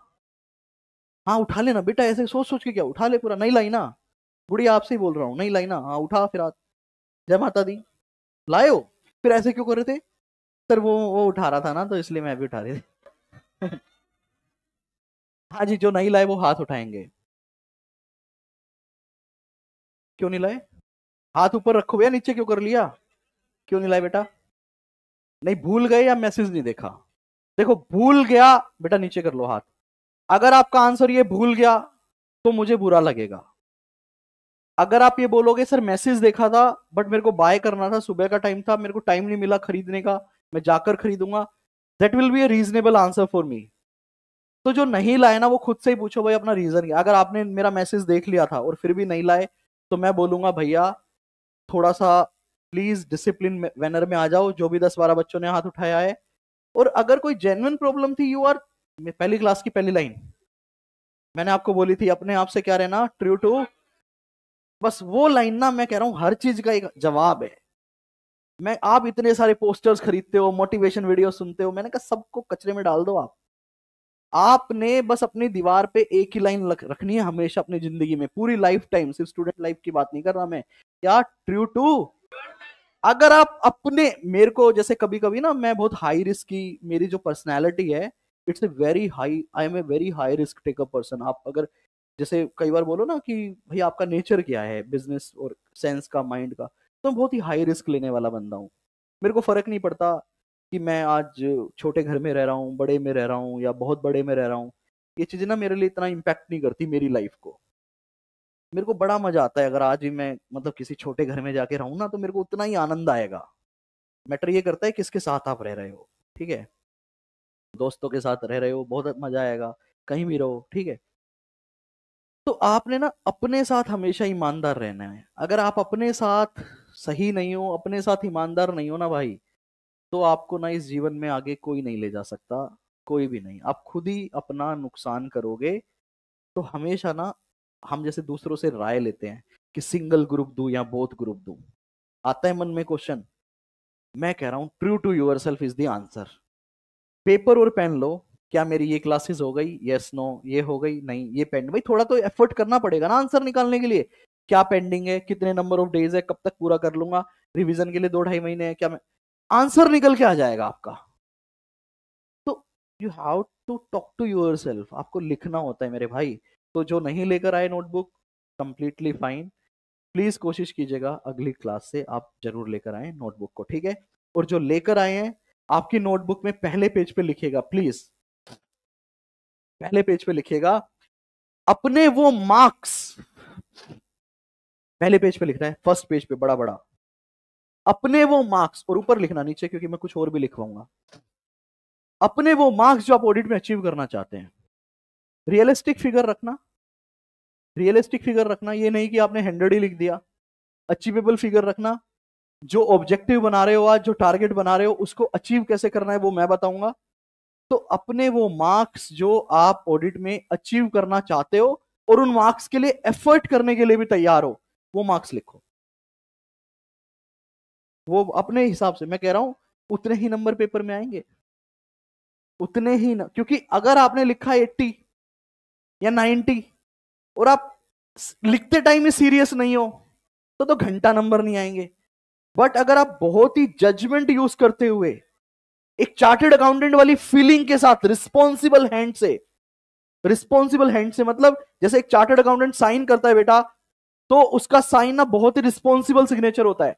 तो उसी एंगल से मैं बोल रहा हूँ, उसी माइंडसेट के साथ, आज आप अपनी नोटबुक पे, देखो मैंने आपके सबके नाम के साथ सीए लगाया है तो you you should feel little responsible आप अपने मार्क्स लिखिएगा, मैं वादा करता हूँ, उतने मार्क्स आपके पेपर में आपके आने वाले हैं एक्स्ट्रा आएँगे, कम नहीं आएँगे, वादा है मुझसे। ठीक है जी? आप उस नंबर को लिख सकते हैं, आप एक रेंज भी लिख सकते हैं, पाँच से सात नंबर की रेंज वो भी लिख सकते हैं, दस नंबर की रेंज भी लिख सकते हैं, बीस नंबर की रेंज नहीं लिखेंगे, कि पचास से सत्तर। सिक्सटी फाइव टू सेवेंटी एक रीजनेबल रेंज है। Seventy five to eighty reasonable है। Eighty to eighty five reasonable है। Eighty five to ninety reasonable है। Eighty seven to ninety three बहुत रीजनेबल है। उसके लिए एफर्ट अलग लगेंगे। पाँच लाख के इनाम की कैटेगरी में आ गए फिर आप। आप लोगों ने रिवॉर्ड फ़ंक्शन नहीं नहीं देखा क्या मेरा? 95 पे पाँच लाख का इनाम है, लेकिन हम एक लाख देंगे या पाँच लाख देंगे, वो हम उस अटेम्प्ट के रिज़ल्ट पे डिसाइड करेंगे। बेटा, पंद्रह बच्चों के आ गए। कैसे दे पाऊँगा? आप बताओ। नहीं दे पाऊँगा ना। एक बच्चे के आए। बाकी सब ठीक है, इक्कीस हज़ार वाली कैटेगरी में। तो हो सकता है मुझे आईफोन दे दें, एक एक डेढ़ लाख रुपए तो वो डिपेंड करता है स्टूडेंट के ऊपर। चलो जी, ये फ़ोटो ले लिया आपने। ठीक है? बेटा आप टेलीग्राम पे पढ़ लेना, मैंने पूरा डाला हुआ है, कितने नंबर पे क्या मिलता है। चले आगे। लो जी, अब एक टेस्ट है, इस टेस्ट को देंगे सभी स्टूडेंट मेरे साथ। लो जी लो जी देखेगा पहली सिचुएशन कहता है financial statement are materially misstated financial statement are materially यहाँ पे बता रहा है फाइनेंशियल जो है वो मटेरियली क्या है? मिसस्टेटेड है। अगली सिचुएशन कहता है कहता है मटेरियल तो है बट परवेजिव कौन सा ओपिनियन जाएगा? क्वालिफाइड ओपिनियन जाएगा, ठीक है? फिर आप बोलो मटेरियल तो है और परवेजिव भी है तो एडवर्स समझ आया? अगली situation auditor inability to obtain sufficient appropriate audit evidence inability तो कह रहा है, जो पॉसिबल इफ़ेक्ट है ना, वो मटेरियल तो है बट परवेसिव कौन सा ओपिनियन क्वालिफाइड अगर you are unable to obtain sufficient appropriate audit evidence the possible effect is material as well as pervasive कौन सी? डिस्क्लेमर समझ आया? परवेसिव की डेफिनेशन देख लीजिएगा, क्या है? Definition of pervasive it term a term used in the context of misstatement. ये टर्म हम किसके कंस्ट्रक्ट में कंटेक्स्ट में यूज़ कर रहे हैं? मिसस्टेटमेंट मिसस्टेटमेंट का क्या बताएगा ये आपको? इंपैक्ट क्या कहता है? A term used in the context of misstatement to describe the effect on the financial statement of misstatement pervasive क्या बताता है आपको? इफ़ेक्ट बताता है। किसका? मिसस्टेटमेंट का। किस पे? फाइनेंशियल पे। लेकिन सर, एक जगह तो हम वर्ड मिसस्टेटमेंट यूज़ नहीं करते। कहा? जब हम एविडेंसेस ना ले पाए। कौन सा वर्ड यूज़ करते हो? तो दोबारा सेम बात लिख देते हैं हम। अब एक बार लिख देंगे क्या वर्ड यूज़ करते हुए? पॉसिबल क्योंकि ऐसा भी तो हो सकता है ना, हमको एविडेंसेस ना मिले हो। आगे देखेगा, और, ये और क्यों आया? क्योंकि यहाँ पे अब हमें सेकंड सिचुएशन को कवर करना है। और द पॉसिबल इफ़ेक्ट वर्ड क्या आ गया यहाँ पे? On the financial statement of misstatement if any that are undetected due to inability to obtain sufficient appropriate audit evidences तो बेसिकली नट शेल में अगर बात करें तो ये हमें क्या बताता है? इफ़ेक्ट ठीक है जी? आगे चलते हैं। परवेजिव इफ़ेक्ट क्या हो सकते हैं? On the financial statement are those that बेटा सब्सटेंशियल को बोलेंगे परवेजिव या नॉन सब्सटेंशियल को? सब्सटेंशियल को तो कह रहा है। Pervasive effect on the financial statement are those that in the auditor's judgment, ये जजमेंट का गेम है क्या? मैंने बताया था ना करके भी, these are, this is my judgment कि इन्वेंट्री सब्सटेंशियल पोर्शन है या नहीं? मुझे उस टाइम पे जजमेंट यूज़ करना पड़ेगा। तो कह रहे इन दी ऑडिटर्स जजमेंट तीन सिचुएशन है। कह रहा effect of misstatement are not confined to a specific element इसका मतलब क्या हुआ? वो सब जगह फैला हुआ है। Misstatement are not confined to a specific element इसका मतलब क्या हुआ? बहुत जगह फैला हुआ है। आया ना? कह रहे परवेजिव इफ़ेक्ट का मतलब क्या है? स्टेटमेंट में वर्ड ऐड कर रहा हूँ। Misstatement are not confined to specific element account और आइटम ऑफ़ फाइनेंशियल स्टेटमेंट तो इसका मतलब क्या हुआ? वो हर जगह फैली हुई है। तो इसका मतलब परवेजिव है। अगला एग्ज़ाम्पल देखना इसका। इफ़ बेटा आप भी मिसस्टेटमेंट वर्ड ना ऐड कर सकते हो किताब में अपने रीडिंग के लिए। If misstatement is so confined so confined का मतलब किसी एक आइटम पे हो सकती है, किसी एक अकाउंट पे हो सकती है। If so confined let say inventory represent और could represent a substantial portion of the financial statement तो भी ये बताओ परवेजिव हुआ या नहीं हुआ? क्योंकि एक अकाउंट में गलती बोल रहे हो आप। कन्फाइंड तो है बट ये कन्फाइंड का ही इंपैक्ट क्या है? जैसे एग्जांपल रिवेन्यू अगर रिवेन्यू में मिसस्टेटमेंट है तो रेवेन्यू में ही है या डेटर में भी होगी, फिर इन्वेंट्री में भी हो सकती है, फिर multiple account cash and bank में भी हो सकती है। तो वो कन्फाइन होते हुए भी उसका इंपैक्ट क्या है? सब्सटेंशियल है। बात समझ आया दूसरा? परवेजिव का दूसरा एग्ज़ाम्पल तीसरा, या आपकी गलती है डिस्क्लोजर से रिलेटेड जो कि फंडामेंटल है for the understanding of the financial भाई डिस्क्लोजर आपके बुक्स के मैंडेटरी पोर्शन है ना? आपने डिस्क्लोज ही नहीं की।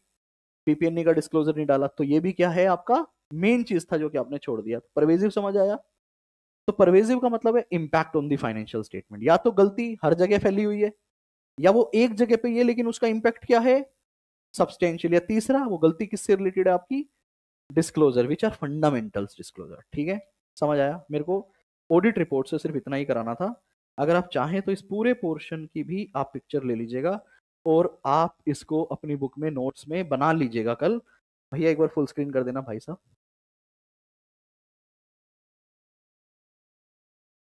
ठीक है जी।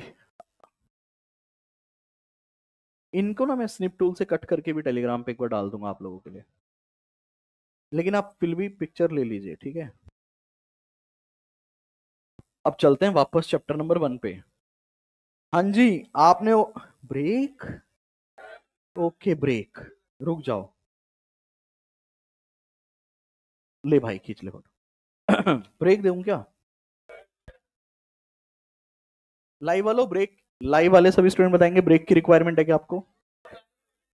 मज़ा नहीं आ रहा क्या?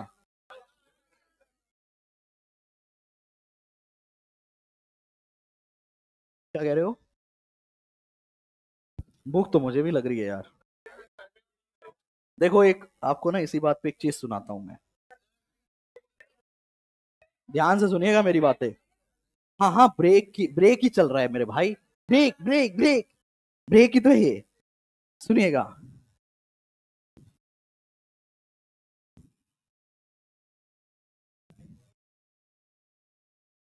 लो जी। मेरे एक फ्रेंड हैं। ये किसी ने पहले भी सुना होगा मेरे से। मेरे एक फ्रेंड है, निपुण सिकरी। सुना है किसी ने पहले? वो चार्टर्ड अकाउंटेंट भी हैं, वो कंपनी सेक्रेटरी भी हैं, और वो ना पागल भी है साला। हम ना परसों वो पुणे से आया हुआ था, पुणे रहता है वो। वो पुणे से भी कुछ आया हुआ था। लास्ट क्लास थी ना आपकी सैटरडे तो सैटरडे उसने कहा एम्बियंस बोल आ जा। मैंने कहा, आ जाता हूँ। उसने अग्रिमा को भी बुला लिया। हम कहाँ बैठे थे? बियर कैफ़े पे बैठे थे हम लोग। ठीक है? तो मेरे को ना कुछ चाहिए था। तो मैंने डिसेंसी के साथ क्या किया? ऐसे हैंड रेस कर लिया। भाई, जब भी वेटर देखेगा, अपना आ जाएगा। मैं दो मिनट हो गए। क्या कर रहा है साले? भैया! भैया भी नहीं। तो पागल साला। चिल्ला कैसे खड़े हो गए। भैया! मैंने कहा, साले तू कंपनी सेक्रेटरी है। तू चार्टर कह रहा, ऐसे ही आते हैं ये लोग। वो भाग गया अगर कौन पागल आ गया भैया थोड़ा पीनट्स ला दो भैया मैंने कहा भाई माफ़ करना इसको चढ़ चुकी है थोड़ी सी तो पागल आदमी है तो वो ना कवि भी है थोड़ा प्रोफेशनल लेवल पे तो उसकी एक कविता मैं आपके सामने रख रहा हूँ आप लोग राहगीर को जानते हो वो भी हमारा दोस्त है हाँ रागीर स्ट्रगलिंग डेज़ से हमारे साथ रहता है बहुत उसने मेहनत की है रागीर को जानते हो आप लोग लो जी, अब मैं निपुण की आपको एक कविता सुनाता हूँ, ध्यान से सुनिएगा, ठीक है? और समझिएगा, और फुल स्क्रीन प्लीज़ मुझे रखिएगा। हाँ सुनिएगा। This is by my friend Nipun Sikri, लेकिन जब वो कवि के रूप में होता है तो वो अपना नाम निपुण नहीं यूज़ करता, वो उस टाइम पे बेफिक्र यूज़ करता है, ठीक है? वो बेफिक्र के नाम से जानते हैं उसे। तो क्या कहते हैं देखिएगा, हर गुनाह की कोई सजा होती है, हर दुख की कोई वजह होती है। दोबारा रिपीट करूँगा मैं आपके लिए। हर गुनाह की कोई सजा होती है, हर दुख की कोई। थक हार कर कभी रुक मत जाना, हर रात के बाद सुबह होती है। पहली लाइन, दोबारा रिपीट करूँ। क्या कहता है हमारा निपुण भाई? हर गुनाह ये उन्हीं ने लिखी है, हर गुनाह की कोई सजा होती है, हर दुख की कोई। थक हार कर कभी रुक मत जाना, हर रात के बाद सुबह होती है। अब आगे क्या लिखते हैं वो? आप सीए कोर्स कर रहे हो, बहुत बार ऐसा लाइफ में आएगा, आप थक जाओगे, परेशान हो जाओगे, लगेगा यार कहाँ आ गया, कैसे कोर्स करूँ, कैसे करूँगा इस चीज़ को? तो उसके लिए वो क्या लिखते हैं? जब जब तुमको डर लगे, क्या कहते हैं? जब जब तुमको डर लगे अग्निपथ पर चलने से, जब जब तुम घबरा जाओ, सच की राह पर बढ़ने से, जब जब आँख से ओझल हो मंजिल ये अधिकार से, मंजिल मतलब अब कई बार लगता है ना, नहीं यार, मैं नहीं कर पाऊँगा। तो क्या कहते हैं, जब जब आँख से ओझल हो, मंजिल ये अधिकार से, जब जब दिल ये बोझल हो, हालातों की मार से। बहुत बार ऐसा होता है, क्या ऑडिट की क्लास लेनी है फेस टू फेस में जाना है, बट भाई पैसे नहीं है, क्या करें? होता है ना बेटा, हालात अलग अलग हो सकते हैं बच्चों के। तो प्रॉब्लम दोबारा सुनिएगा, ये प्रॉब्लम थे। क्या कहते हैं, जब जब तुमको डर लगे, अग्निपथ पर चलने से जब जब तुम घबरा जाओ सच की राह पर, बढ़ने से, जब जब आँख ये ओझल हो, मंजिल ये अधिकार से, जब जब दिल ये बोझल हो, हालातों की मार से। तो आपको क्या करना चाहिए? तब तब। क्या कहते हैं हमारे निपुण भाई? तब तब खुद को संभालो, हर मुश्किल को मुश्किल में डालो। खुदा हो तुम, खुद को जानना, कुछ भी हो जाए, हार मत मानना। क्या कहते हैं? कुछ भी हो जाए, हार मत मानना।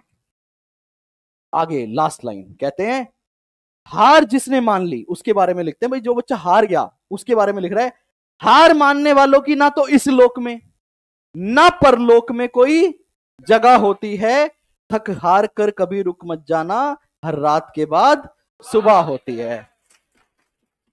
तो बात ऐसी है, अगर आप रुक गए सीए कोर्स क्या है? सीए कोर्स है कि हर बच्चा ना छह घंटे पढ़ाई कर रहा है और हम लूज कर जाते हैं बिकॉज़ हम थक गए। हमारे माइंड ने जवाब दे दिया कि भाई अब और। लेकिन जो स्टूडेंट ये समझ गया कि भैया अब असली जर्नी स्टार्ट हुई है और अब मुझे इससे आगे छह घंटे पढ़ना है, तब मैं एक्सेप्शनली बनूँगा, तब मैं बाकी से आगे निकलूँगा, तब मेरी लाइफ में कुछ नया आएगा। वही दिन समझ लेना, आप बिल्कुल डेफिनेटली रैंक या आप बहुत आगे जाने की तैयारी कर चुके हो। थकना नहीं है बिल्कुल भी। जब आपको लगे कि यार थक गए हैं ना तभी लगना चाहिए। आपको सलाह आज तो काम करना ही है। थर्ड क्लास में शायद पता नहीं सेकंड लेक्चर था, जब मैं यहाँ पे आया, बेटा मेरी बहुत तबीयत खराब थी। ठीक है? मतलब मैं पढ़ाने के हालात में तो नहीं था। अगर ये लेक्चर पंद्रह या बीसवा होता तो मैं मैसेज डाल देता कि भाई आज नहीं पढ़ा पाऊँगा। सिंस आपका सेकेंड थर्ड लेक्चर था, मैं छुट्टी तो कर ही नहीं सकता था किसी भी कीमत पे। यहाँ पे आया माइंड बनाया कि सिर्फ़ स्टार्ट करना है। और वो ऐसा स्टार्ट हुआ कि पता ही नहीं चला कब तीन घंटे निकल गए। तो सब ना गेम किसका है? माइंड का। अगर मैं आपको बिगनिंग में ही बोल दूँगा ना, आपका बेटा पंद्रह मिनट का ब्रेक होगा तो आप एक घंटे बाद ही घड़ी देखने लग जाओगे, ये पंद्रह मिनट का ब्रेक कब होगा? लेकिन अगर आप माइंडसेट बना के बैठे हो, भैया, ग्यारह से दो नॉन स्टॉप चलेगी गाड़ी बीच बीच में ब्रेक होगा, लेकिन वो बैठे बैठे होगा। किसी को नेचर कॉल आ रही है, चुपचाप उठ के जाओ और आके बैठ जाओ। अगर आपने वो माइंडसेट बना लिया तो मैं गारंटी दे रहा हूँ दो बजे तक आप नहीं थकने वाले। कभी नहीं थकोगे, क्योंकि आपको क्या पता है कि ब्रेक नहीं होगा भैया। माइंडसेट क्लियर है कि ब्रेक नहीं होगा। तो माइंडसेट क्लियर है ब्रेक नहीं होगा। चले आगे। हाँ किसी को अगर वॉशरूम जाना है, वो जाना है ऑब्वियसली ब्रेक तो दे दे भाई। चले जाना भाई। लो जी। आज चैप्टर वन का दोबारा ऑब्जेक्टिव पढ़ते हैं। ब्रेक की ज़रूरत लगे तो बता देना, दे देंगे। ठीक है तो डेफिनेशन तो पूरी करो, फिर ले लेना पाँच मिनट का ब्रेक हम पढ़ रहे थे एस ए टू हंड्रेड पहला कंसेप्ट ऑब्जेक्टिव ऑफ़ ऑडिटर वापस आ गए वहीं पे ही। क्यों? क्योंकि एक लाइन पढ़ाने के लिए मुझे वहाँ पे वापस आना पड़ा। As per S A two hundred क्या कहता है? Overall objective of the independent auditor in conducting an audit of financial statement, the overall objective of the auditor are सभी बच्चे रीड करेंगे मेरे साथ। क्या कहते हैं? to obtain reasonable assurance about whether the financial statement as a whole are free from whether due to fraud or अगर ऐसा होता है तो thereby enabling the auditor to express an opinion on whether the financial statement are prepared in all material respect in accordance with applicable financial reporting and to report on the financial statement and communicate as required by the essays in accordance with the auditor खत्म। फिर दो लाइनें थी। In all cases when reasonable assurance अब पढ़ना ही अब पढ़ रहे हैं पहली बार। In all cases when reasonable assurance अच्छा दूसरी बेस्ट ओपिनियन क्या हो सकती है? रीजनेबल तो नहीं है। तो दूसरी क्या होती है? बेस्ट क्वालिफाइड कि सब सही है, इसको छोड़कर। in all cases when reasonable assurance cannot be obtained, and a qualified opinion in the audit report is insufficient correct true and fair view में ले नहीं पा रहा। क्वालिफाइड इनसफिशियंट रहेगी मतलब वो भी सही। तो बचा क्या? या तो डिस्क्लेमर दे दो, या फिर छोड़कर ही चले जाओ। अगर समय से पता चल रहा है तो तो क्या कहता है? The SA required that the auditor disclaim an opinion और विड्रॉ फ्रॉम दी एंगेजमेंट अब मज़े की बात यह है, कोई बताएगा? Which S SA require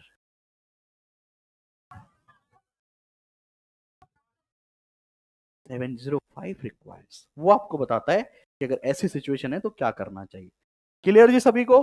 ये इसकी समरी है to obtain reasonable assurance auditor को फाइनेंशियल स्टेटमेंट देखना है whether they are free from material statement opinion देनी है रिपोर्ट बना के देना है, और कम्युनिकेट करना है रिपोर्ट को as required by the S चार जनरल लैंग्वेज है रीड करेंगे स्किप करनी है। ये दो पॉइंट के साथ प्लीज़ लिखिएगा लर्न मैंने लिखवा दिया है एज इट इज़ ठीक है?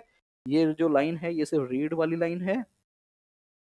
ये जो है रीड और लास्ट में स्किप रीड और लास्ट में स्किप का मतलब क्या है? भाई, एक दो रिवीजन में तो रीड करते रहो। बाद में छोड़ देना। वन लाइनर जो है, वो यहाँ पे ऑलरेडी कवर हो जाती है। एनालिसिस है बेसिकली ऊपर वाली बात जो मैंने समझाई है, उसी को ही दोबारा तोड़ के लिखा है। तो ये लिखा क्यों है? क्योंकि कई बार ना एमसीक्यू करेक्ट इनकरेक्ट कहीं से भी आ जाता है। तो अगर आप रीड करके भी जाएँगे ना तो माइंड में क्लिक हंड्रेड परसेंट आपको पेपर में हो जाएगी, आपको दिमाग नहीं लगाना। तो क्या कहता है, देखिएगा an analysis of above bring out the following points clearly क्या क्या देखिएगा। Auditor objective is to obtain reasonable assurance whether financial statement as a whole are free from material misstatement whether due to fraud or error sir same ही तो बात है ऊपर से नीचे उतार के रखी आपने ये बता रहा है रीजनेबल एश्योरेंस क्या है तो कहता है reasonable assurance is to be distinguished from the absolute assurance. What is absolute assurance? Absolute assurance is a complete assurance or a guarantee that the financial statement are free from material misstatement. However, reasonable assurance is not a complete guarantee, although it is a high level assurance, but it is not a complete assurance. ठीक है जी Audit of financial statement is carried out by the auditor with professional competence and skills in accordance with the standards on auditing. Audit procedure are applied. हम audit procedures लगाते हैं are applied in accordance with essays. audit evidences is obtain procedure लगाओ evidence obtain करो evidence को क्या करो? Evaluate करो। अब इवेल्युएट हो गया तो क्या करेंगे? On the basis of that conclusion are drawn up an a opinion is formed समझ आया? It leads to the high level of assurance which is called a reasonable assurance but it is not an अब ICAI क्या question बनाता है? मतलब इससे घटिया question नहीं बन सकता। क्या कहता है हमारा बुक कि सबसे पहले आप क्या लो? ऑडिट प्रोसीजर लगाओ। हाँ या ना? प्रोसीजर लगाकर क्या ऑप्टेन करो? एविडेंस फिर उन एविडेंस को क्या करो? और उन इवेल्युएशन के बेस पे क्या फ्रेम करो? और उस कंक्लूजन के बेस पे ओपिनियन दे दो और ओपिनियन के बाद रिपोर्ट नहीं है फाइनल रिपोर्ट बना दो। तो ये फ्लो हो गया। फ्लो क्या हो गया? ऑडिट प्रोसीजर लगाओ एविडेंस ऑप्टेन करो इवेल्युएट करो ओपिनियन फ्रेम करके रिपोर्ट में डाल दो। आईसीआई कहेगा select the correct statement MCQ for one mark for two mark select the correct statement flow देगा। Audit procedure evidence obtain evaluation conclusion reporting पाँच पॉइंट दे दिए। फिर दूसरा लिखेगा evidence obtain audit procedure opinion evaluation report ऐसे चार दे देगा। You have to just apply your mind and select the right और correct flow of doing audit बिल्कुल बेसिक तो अगर ये ना भी लिखा होना किताब में तो भी आप सेलेक्ट कर लोगे कि भाई मैं कैसे ऑडिट करता हूँ। सबसे पहले ओपिनियन होगा, आप सेलेक्ट कर लोगे क्या? कि पहले ओपिनियन दूँगा, बाद में सारा काम कर। नहीं तो you can just simply remove this statement in your second और थर्ड रीडिंग ठीक है? मैंने हालाँकि ऊपर लिख दिया ना? हाँ। सेकेंड पढ़िएगा। अब ये बताता है misstatement misstatement in the financial statement can occur due to fraud और एरर और both the auditor seeks to obtain reasonable assurance whether financial statement as a whole are free from material misstatement caused by fraud or error हम evidences लेते हैं to ensure that the financial statement are free from material misstatement ठीक है auditor has to see effect of misstatement on financial statement as a whole in totality हमें effect देखना होता है total पे ताकि हम एक ओपिनियन फ्रेम कर पाए तो ये भी बहुत सिंपल बोल रहा है कि एविडेंस लेना है सो so दैट कोई भी मटेरियल में स्टेटमेंट ना हो obtaining reasonable assurance that the financial statement as a whole are free from material misstatement enable the auditor to express an opinion on whether the financial statement are prepared in all material respect in accordance with applicable FRF. पूरा ही objective वापस से copy paste कर दिया। The opinion is reported and communicated in accordance with audit finding through a written report as required by standard on auditing और standard on auditing कौन सा है reporting का? एस ए सेवन हंड्रेड तो in simple words you just simply skip this four points ठीक है? अगर आपने ऊपर वाली डेफिनेशन को समझ लिया है यू नो कि रीजनेबल एश्योरेंस क्या है मटेरियल में स्टेटमेंट क्या है एस कौन सा बोल रहा है, क्या रिपोर्ट देनी है you are good to go clear यहाँ तक? अगर अब आप एक एक्चुअली मैं बोल रहा हूँ, अगर आप एक ब्रेक लेना चाहें, ले सकते हैं but it should be five to seven minute और उसके बाद हम वापस से कंटिन्यू टेन मिनट में तो क्लास खत्म हो जाएगी। हाँ? एक पाँच मिनट का ब्रेक ले लो। कुछ बच्चों को रिक्वायर्ड है। एक फाइव मिनट का ब्रेक ले लीजिए घड़ी के हिसाब से, ठीक है?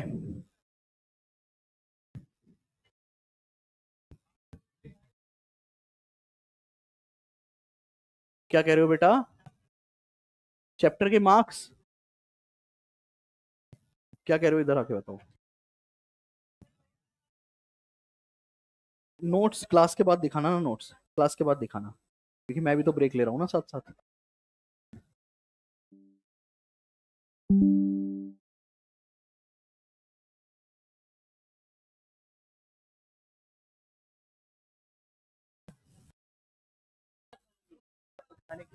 नहीं नहीं नहीं नहीं कुछ नहीं खाऊँगा भाई।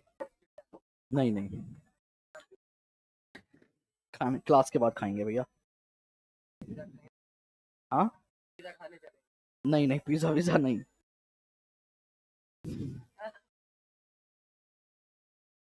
लाइव वाले सभी स्टूडेंट प्लीज़ बताइएगा, आपको लेक्चर कैसा लग रहा है? प्लीज़ ये मत बोलिएगा कि सर आप चैट कम देखते हो या मैसेज का रिप्लाई कम करते हो, क्योंकि वो मेरी मजबूरी है। अगर मैं चैट देखने लगा तो क्लास का फ्लो टूट जाएगा। मेरी कोशिश रहती है कि मैं आपको बेस्ट टू बेस्ट अपनी सर्विसेज़ दूँ। वो वीडियो दिखा दूँ। हाँ जी।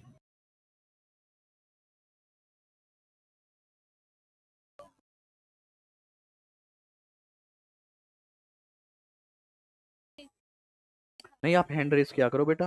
मैं पीछे तक देखता हूँ। अच्छा आपका दिखा नहीं होगा मुझे, कोई बात नहीं, आगे से ध्यान रखेंगे इस चीज़ का। कोई बात नहीं, आगे से।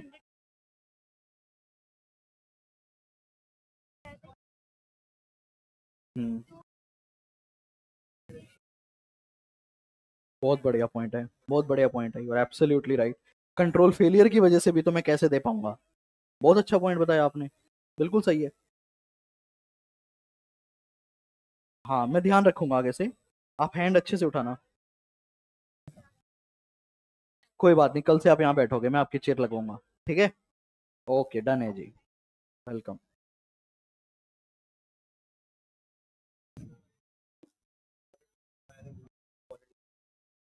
क्या, वो मार्क्स था? मार्क्स लिखवाना था मेरे को फ़र्स्ट पेज पे।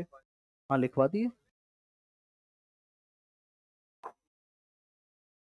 हाँ जी। ठीक है भाई। हाँ। मटेरियल ट्रांजैक्शन इतनी नहीं निकलती कभी भी।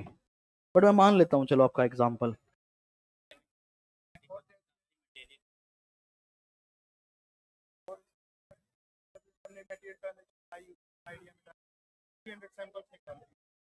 हाँ।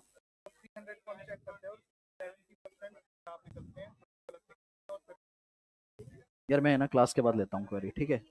क्लास के बाद अपन खड़े हो गए, आराम से क्वेरी लेता हूँ आपकी, ठीक है? अभी मैं कुछ कर रहा हूँ बेसिकली आप लोगों के लिए। हाँ जी। क्लास के बाद देखूँगा बेटा।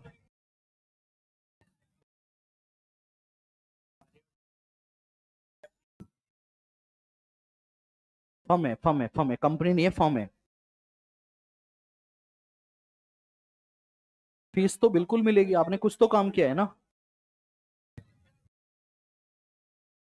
डिपेंड करता है मैनेजमेंट और आपके एग्रीमेंट पे।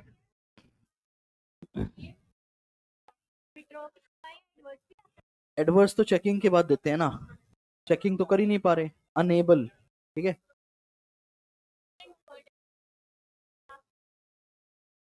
कैसे?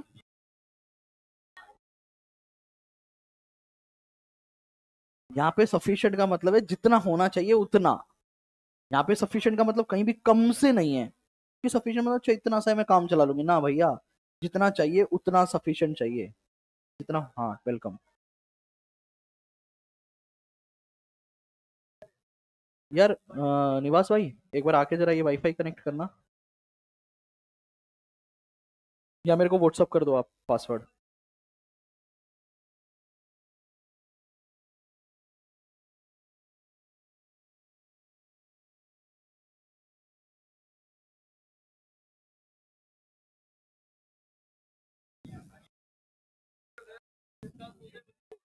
हाँ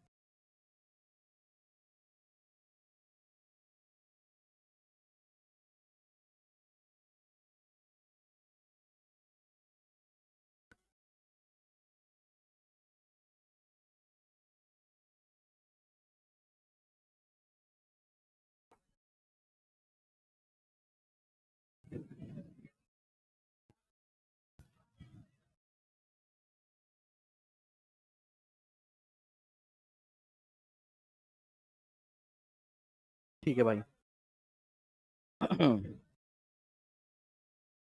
अच्छा सुनो सुनो, निवास निवास निवास।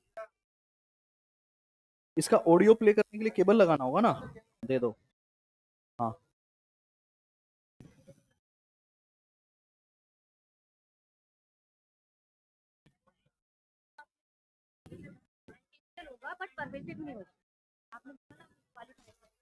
तो कोई भी चीज़, अगर मटेरियल है तो pervasive तो आएगा ही आएगा। मटेरियल तो है मतलब बड़ी गलती तो है, लेकिन पूरे फाइनेंशियल हिट नहीं कर रही।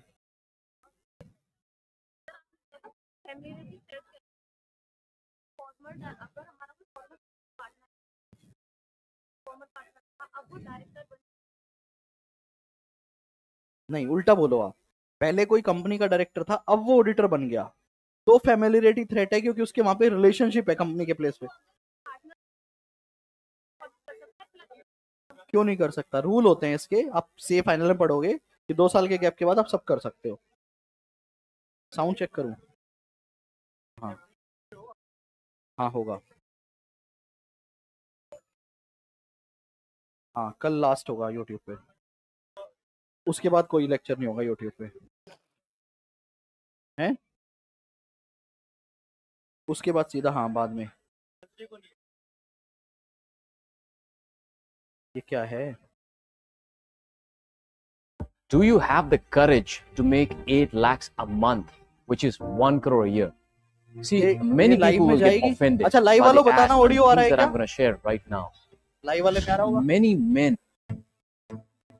लाइव वाले प्लीज़ एक बार कमेंट करके बताइएगा कि आपको ऑडियो आ रहा है क्या अरे अरे अरे कॉपीराइट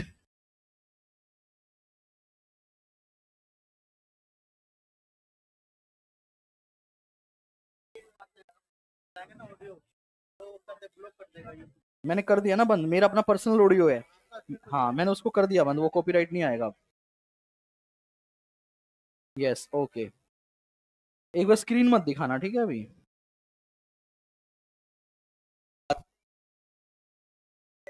लो जी, मैं आज आपको एक वीडियो दिखा रहा हूँ। अब आप है ना मेरी स्क्रीन को ले आओ। हाँ और मेरे को भी रखना, कोई बात नहीं यहाँ पे। ये देखेगा एक वीडियो है छोटा सा, दो मिनट का शायद, ठीक है? इस वीडियो में मेरे साथ एक पर्सन है, जिनका नाम राजेंद्र जोशी जी है, जो कि वाइस प्रेसिडेंट है रिलायंस में, ठीक है?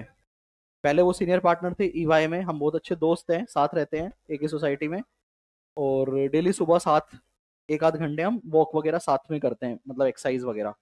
तो उनके साथ एक वीडियो और उनसे भी एक स्पेशल पर्सन मेरे साथ है, जिनके बारे में मैं नहीं बता रहा हूँ, बस आप ये वीडियो को सुनकर देखेगा और इसको कोशिश कीजिएगा, हमेशा फॉलो करें इस तरह की चीज़ों को, ठीक है?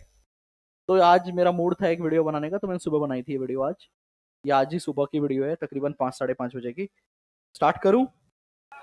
लो जी सुनिएगा। आई होप ऑडियो वीडियो आपको ठीक दिख रहा हो। Hi good morning to all of you आज मैं मेरे साथ राजेंद्र जोशी जी हैं। इनके बारे में मैं किसी दिन क्लास में बताऊँगा आपको। ठीक है सर आप ही बता दो वैसे। I am group captain R K Joshi नहीं नहीं आप अपनी रिलायंस के बारे में तो बताओ थोड़ा सा। I am working as a senior vice president in strategy and planning. I Ah. was in Air Force, worked for 26 years. Then I also worked for Ernst and Young for almost two years at uh, senior advisor and है? associate partner level.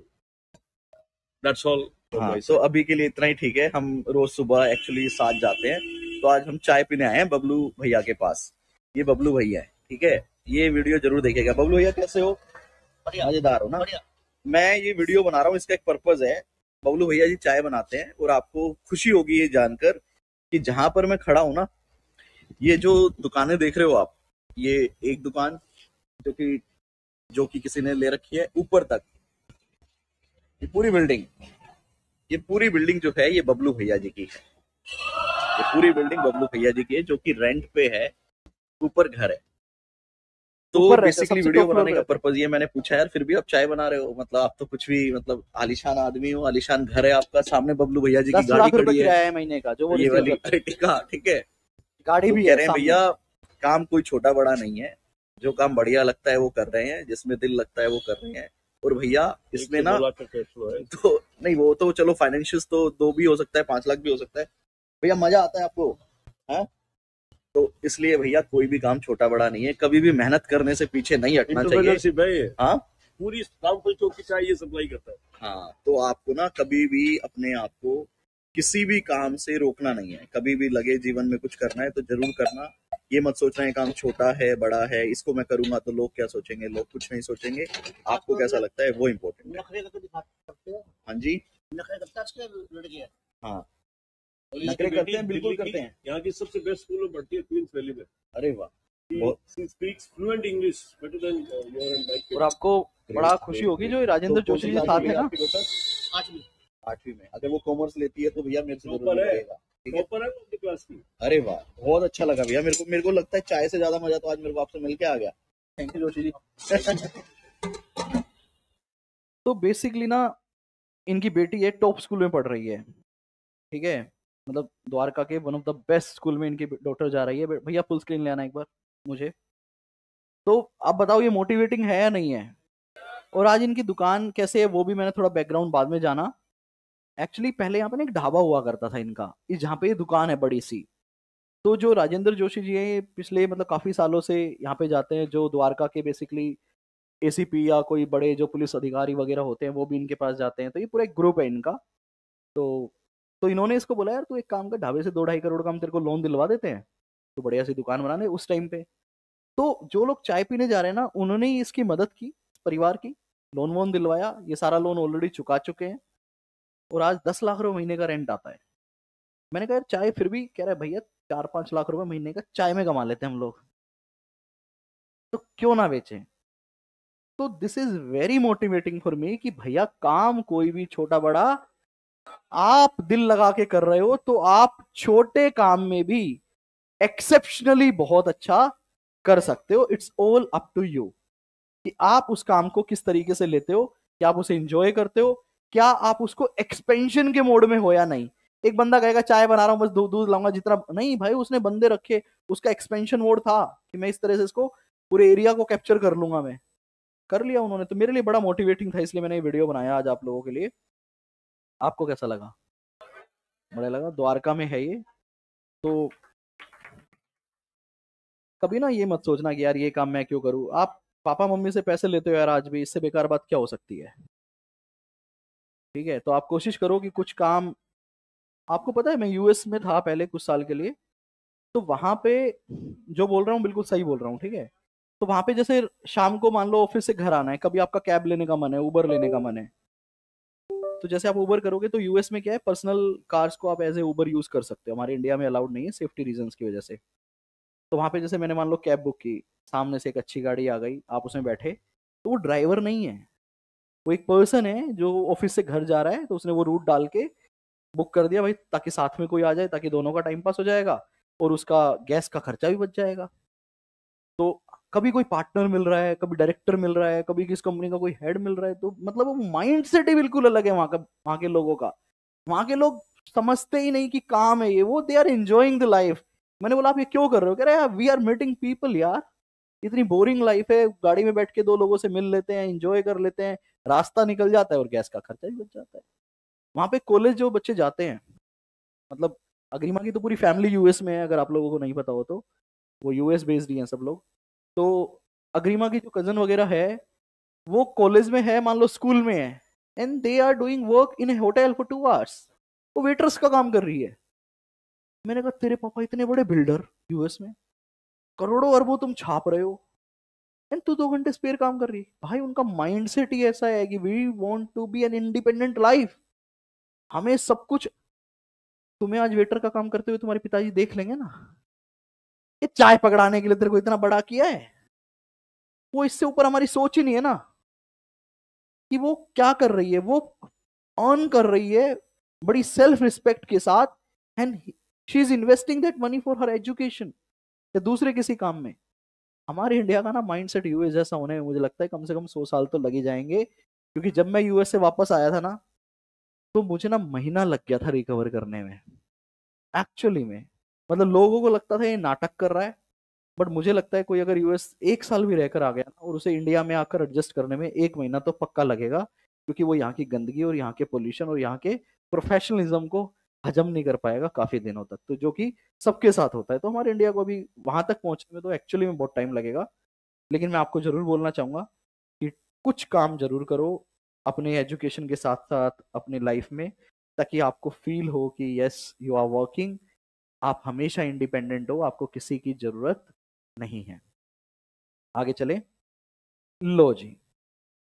उसके बाद आता है एक concept आपका scope and aspects of audit scope and aspects of audit मेरे पास time कम है तो एक अच्छा कंसेप्ट करवा देता हूँ अभी। आपने एक कंसेप्ट अभी किया था ना we can not give absolute assurance because there are many limitations अभी एक बच्चे ने बहुत अच्छा एग्जांपल दिया मुझे आगे आके। कह रहे सर क्लाइंट के कंट्रोल्स भी तो फेल हो सकते हैं। अच्छा हटा दो।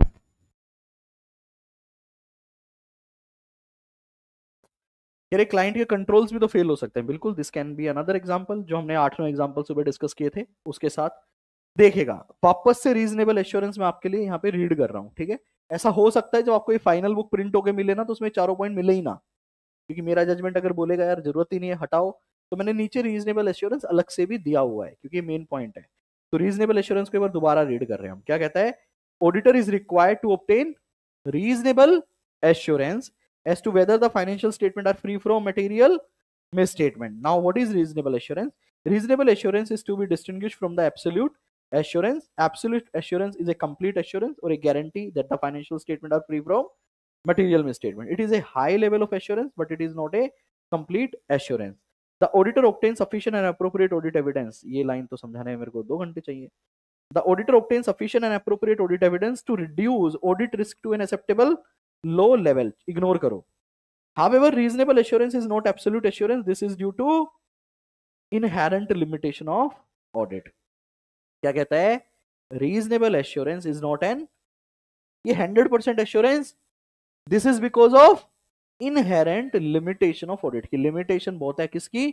हमारे ऑडिट की। अब अगला कंसेप्ट हम क्या पढ़ रहे हैं? इनहेरेंट लिमिटेशन ऑफ़ ऑडिट इस कंसेप्ट के साथ लिख लो। सुपर इंपॉर्टेंट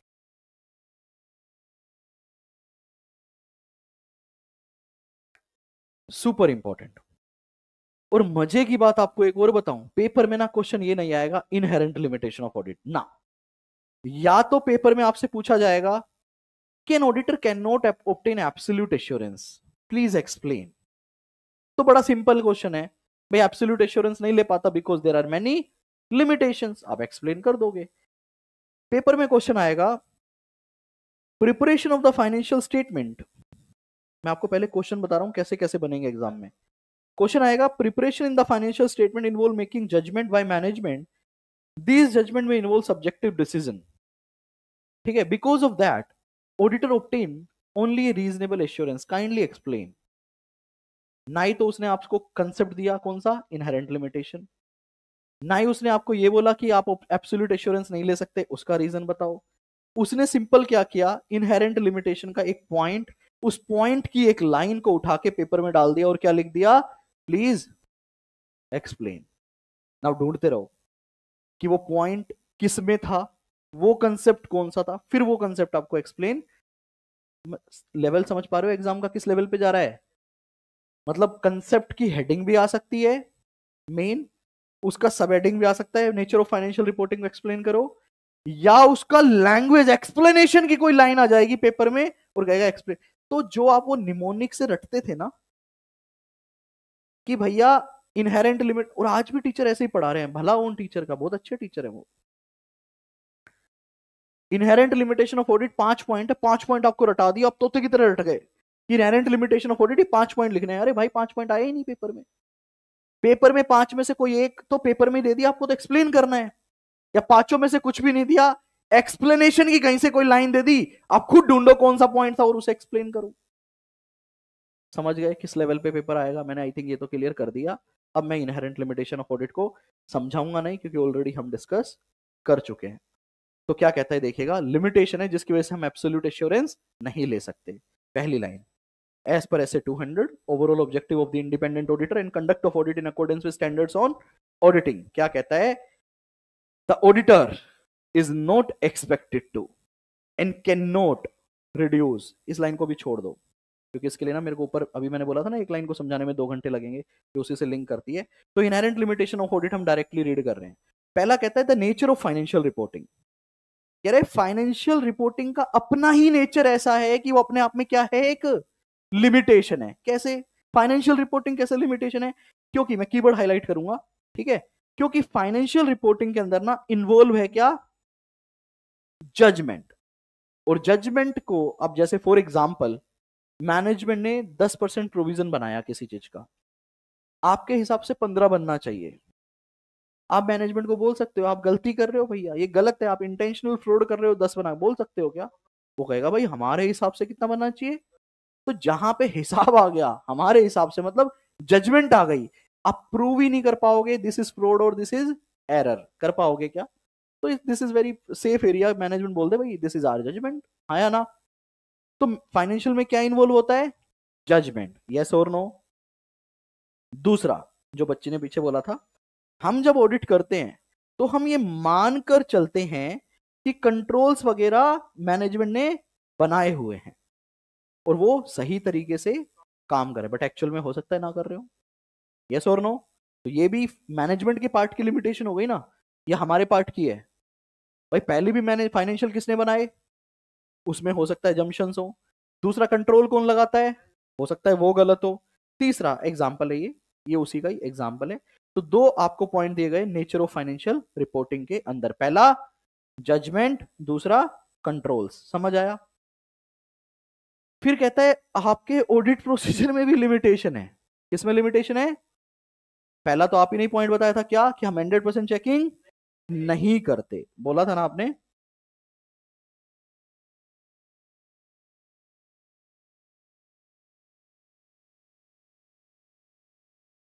कि हम भैया सारा हंड्रेड परसेंट चेकिंग नहीं करते। यस और नो और ऐसा भी हो सकता है सर ऑडिटर अपनी लिमिटेशन बता रहा है कि मैं मैनेजमेंट से कुछ मांगू और मैनेजमेंट मुझे ना दे तो management may not provide complete information हो सकता है या नहीं? सर मैनेजमेंट भी तो ऐसी हो सकती है, कैसी हो? डिसऑनेस्ट हो, जिसने जाली पेपर्स बना रखे हैं, हो सकता है मैं ना पकड़ पाऊँ। यस और नो तो पहले यहाँ तक रीड करेंगे इतने पॉइंट्स देखिएगा। तो सबसे पहला पॉइंट क्या कहता है? नेचर ऑफ़ फाइनेंशियल रिपोर्टिंग क्या कहता है? आराम से रीड करेंगे। प्रिपरेशन ऑफ़ फाइनेंशियल इंफॉर्मेशन या financial statement involve making many judgments by management these judgment may involve subjective decision or a degree of uncertainty. अगर example to employee benefit liability आप लोग बनाते हो? कि फ्यूचर की कितनी बुक करनी है मुझे? अकाउंट्स में? तो वो कितना लाइबिलिटी बुक करना है वहाँ पे जजमेंट लगती है। कभी कभी मैनेजमेंट उस लाइबिलिटी को बुक करने के लिए एक्चुअली की भी हेल्प लेती है। तो आप बहुत सारी जजमेंट यूज़ करके काफ़ी अकाउंटिंग कर रहे हो तो क्या कहता है preparation of financial statement involve making many judgment by management these judgment may involve subjective decision or a degree of uncertainty. Therefore, auditor may not be able to obtain absolute assurance that the financial statement are material misstatement due to fraud or errors. हो सकता है ना? Judgement गलत लगा रखी है मैंने intentionally आप कैसे प्रूव करोगे? कर ही नहीं सकते। क्योंकि वो क्या है?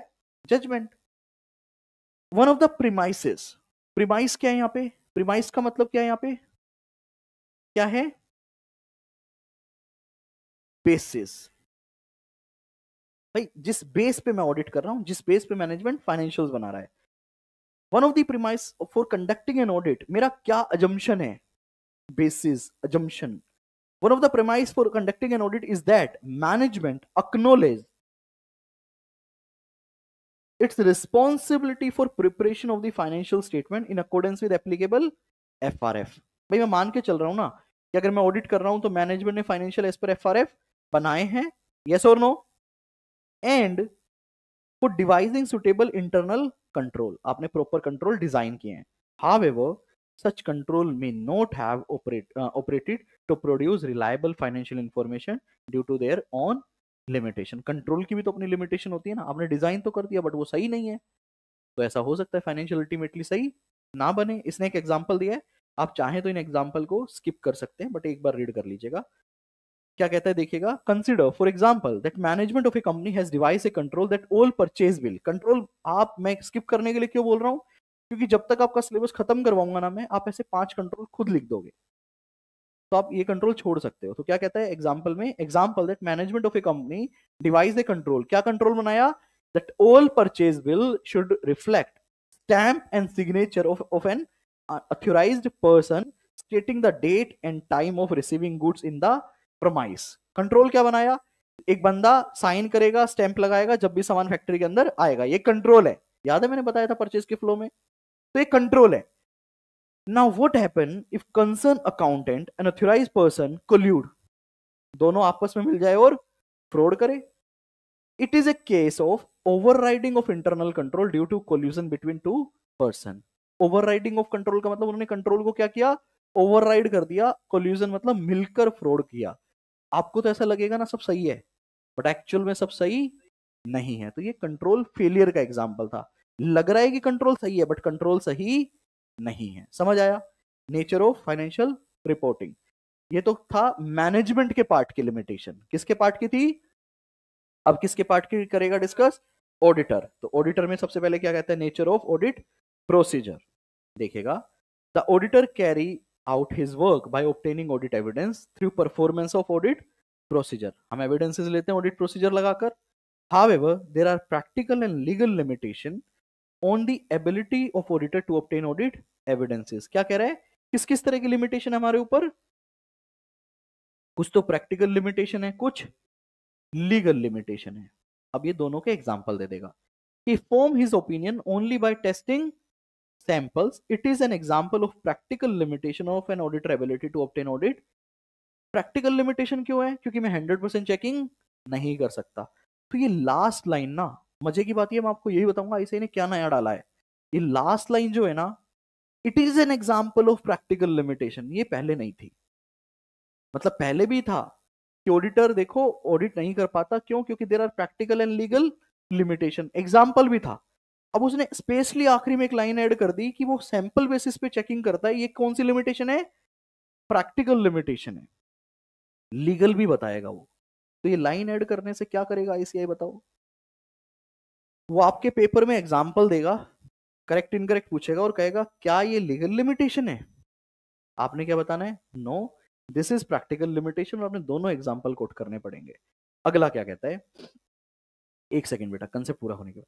Management may not provide complete information as requested by auditor management आपको पूरा डेटा नहीं दे रहा। देर इज़ नो वे क्या मेरे पास कोई राइट right है कि मैं मैनेजमेंट को बोलू, थप्पड़ लगा के डेटा दे? आया ना? मैं सीज कर लू। एक इन्वेस्टिगेशन होता है। होता है क्या? सुना है? उसमें क्या होता है, जब आप एज ए इन्वेस्टिगेटर जाते हो ना, आपके दो चार पुलिस वाले भी होते हैं। और आप सीधा जाते हो साइड कर दो सबको। लैपटॉप सीज करो।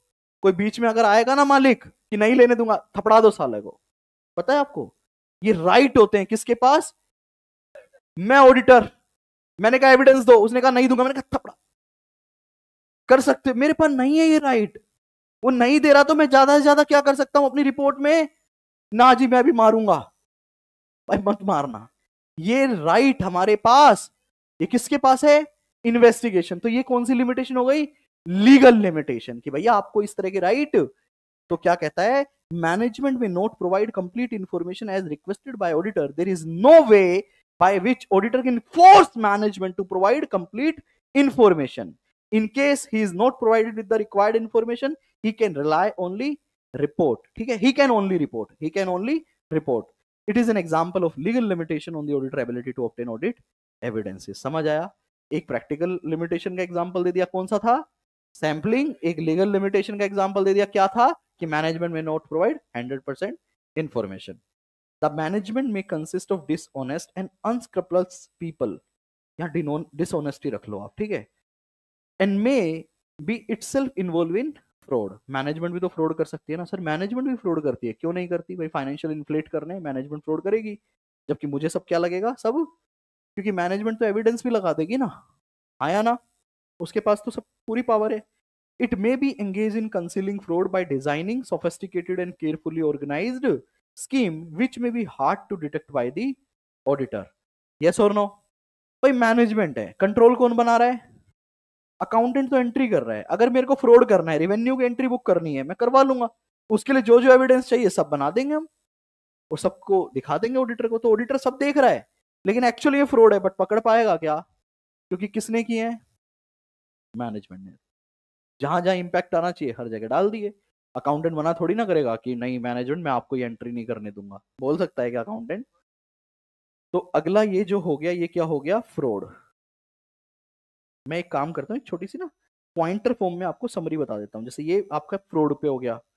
ये ये दो पॉइंट आपके किस पे निकल कर आए थे? निकल कर आए थे? एक प्रैक्टिकल लिमिटेशन पे और एक लीगल लिमिट भाई, याद भी तो करना है ना। नेचर ऑफ़ ऑडिट प्रोसीजर के अंदर क्या पॉइंट लिखना है तो आपको दिमाग में आना चाहिए। एक एग्जांपल लिखना है किसका?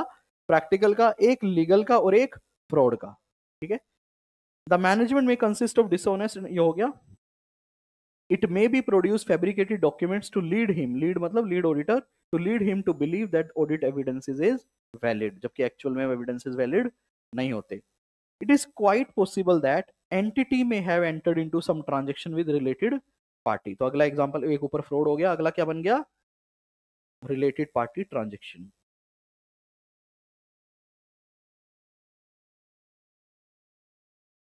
such transaction may be only paper transaction and may not be actually occurred the auditor may not be aware of such related party relationship और audit procedure may not be able to detect probable wrongdoing in such transaction हो सकता है audit के जो auditor के जो audit procedure हैं, वो इस तरह की ट्रांजेक्शन को आइडेंटिफाई ना कर पाए। क्योंकि रिलेटेड पार्टी ट्रांजेक्शन है ना। सामने वाली भी मेरी कंपनी है।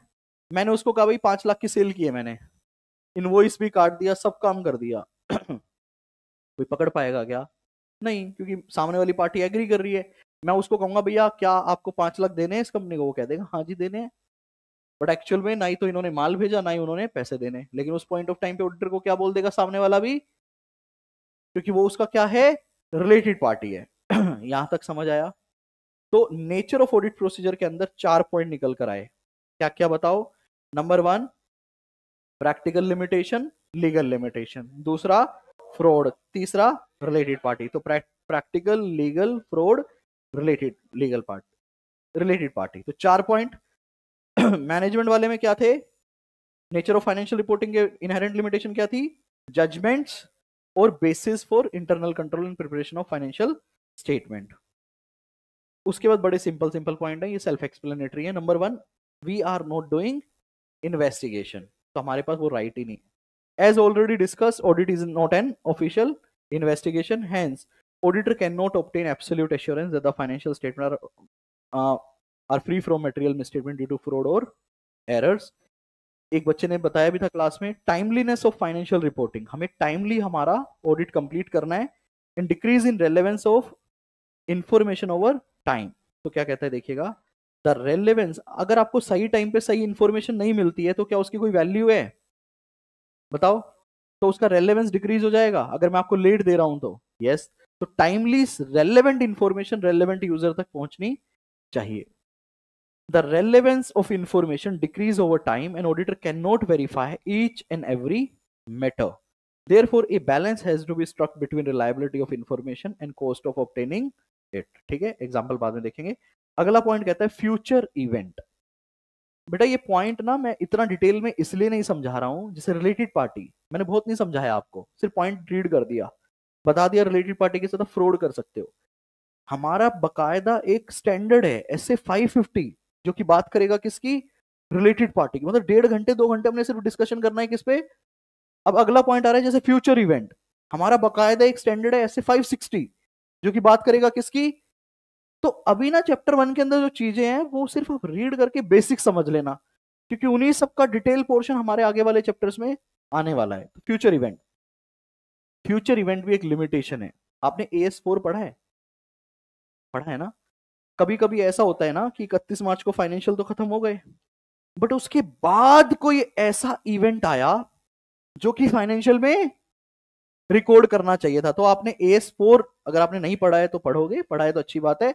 वो बोलता है कि कुछ इवेंट एडजस्टिंग इवेंट होते हैं, कुछ नॉन एडजस्टिंग इवेंट होते हैं। अब भाई, ऐसा भी तो हो सकता है, इकतीस मार्च को फाइनेंशियल ईयर खत्म हुआ। मैं अप्रैल को ऑडिट करके चला गया अपने घर पे रिपोर्ट बना के। हो सकता है क्या? आया ना। और पाँच मई को फिफ्थ ऑफ़ मई को कोई ऐसा इवेंट हुआ जो कि कैसा इवेंट था? एडजस्टिंग इवेंट तो क्या वो मैंने कवर किया? क्या मेरी ऑडिट रिपोर्ट के साइन करने के बाद ही मेरी रिस्पॉन्सिबिलिटी रहेगी उस क्लाइंट की? नहीं, भाई मैं जाके अगले क्लाइंट तो ये भी तो एक लिमिटेशन हो गई ना कि मैं ट्रू एंड करेक्ट क्योंकि फ्यूचर इवेंट के बारे में तो भैया किसी को भी नहीं पता। और हमें ना किसी ना किसी डेट पे तो हम ना ऑडिट क्लोज करेंगे ना। तो फ्यूचर इवेंट पे भी हमारा कंप्लीट स्टैंडर्ड आएगा। अभी के लिए सिर्फ़ प्लेन पढ़ेंगे। फ्यूचर इवेंट और condition may affect an entity adversely adverse event may be seriously affect ability of an entity to continue its business हाँ या ना मैगी का एग्जांपल था आपके पास बी एस फोर का इंजन का एग्जांपल था जो कि मैं सारे एस ए फाइव सिक्सटी में आपको दूँगा the business may cease to exist in future due to change in market condition emergency uh, emergence of new businesses model or products or due to onset of some adverse events तो future के ऊपर किसी का control नहीं है हो सकता है मैं अपना ऑडिट कंप्लीट करके चला जाऊँ फ्यूचर में कुछ ऐसा इवेंट आ जाए जिससे कि बिज़नेस क्या हो जाए, बंद हो जाए। तो आप ना इसके साथ, इस पॉइंट के साथ लिखो S A five sixty, five seventy. ये दो स्टैंडर्ड करने के बाद ना आप इस लैंग्वेज को समझ पाएँगे अच्छे से।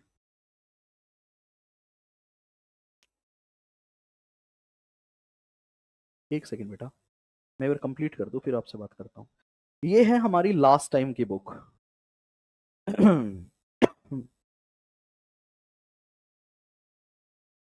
ये हमारे लास्ट अटेम्प्ट की बुक है.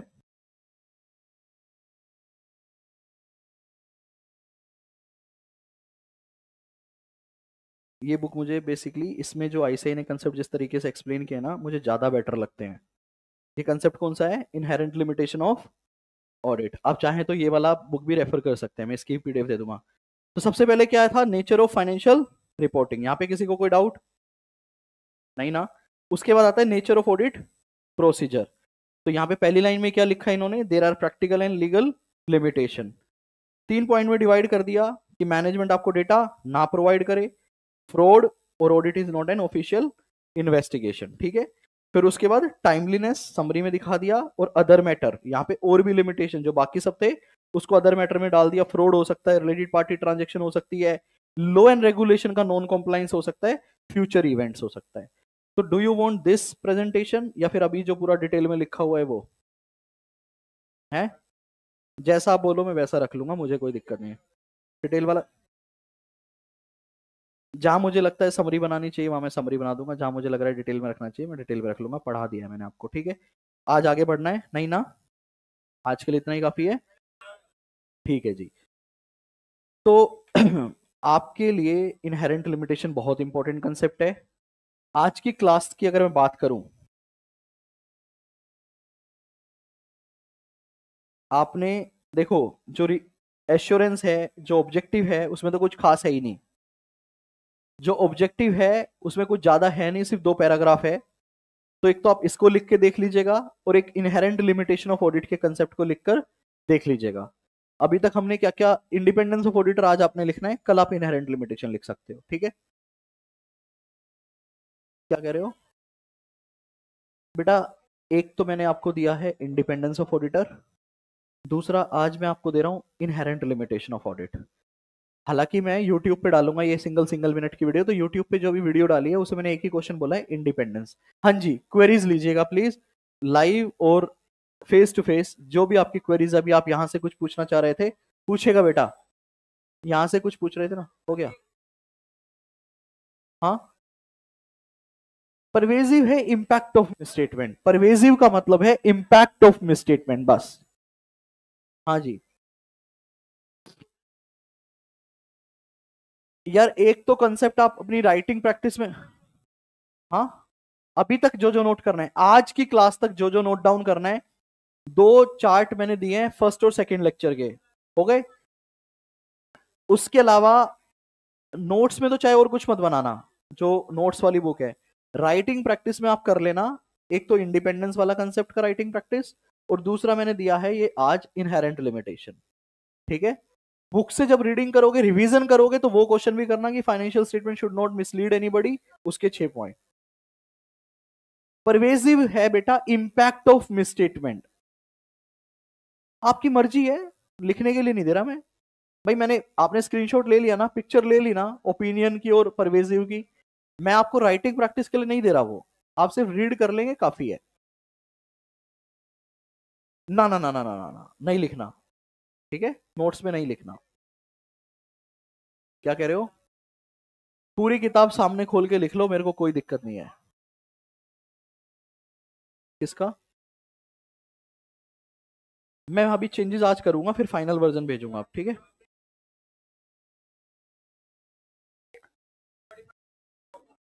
वो आखिरी में दे दूँगा, कल परसों चैप्टर खत्म हो जाएगा, तब दे दूँगा। चलो गाइस कोई क्वेरी नहीं है आप लोगों की, अभी तक तो लाइव वालों कोई क्वेरी अमन की एक क्वेरी है, सर मुझे ये नहीं समझ आ रहा, क्या लिखना है? क्या लिखना है? किसी स्टूडेंट को नहीं समझ आ रहा है, मैं दोबारा एक्सप्लेन कर रहा हूँ। प्लीज़ ध्यान से सुन लो। ताकि आपकी क्वेरी बार बार ना आए। जो लिखना है, मैं साफ़ साफ़ आप सबको दोबारा बता रहा हूँ बेटा, सभी सुनिएगा।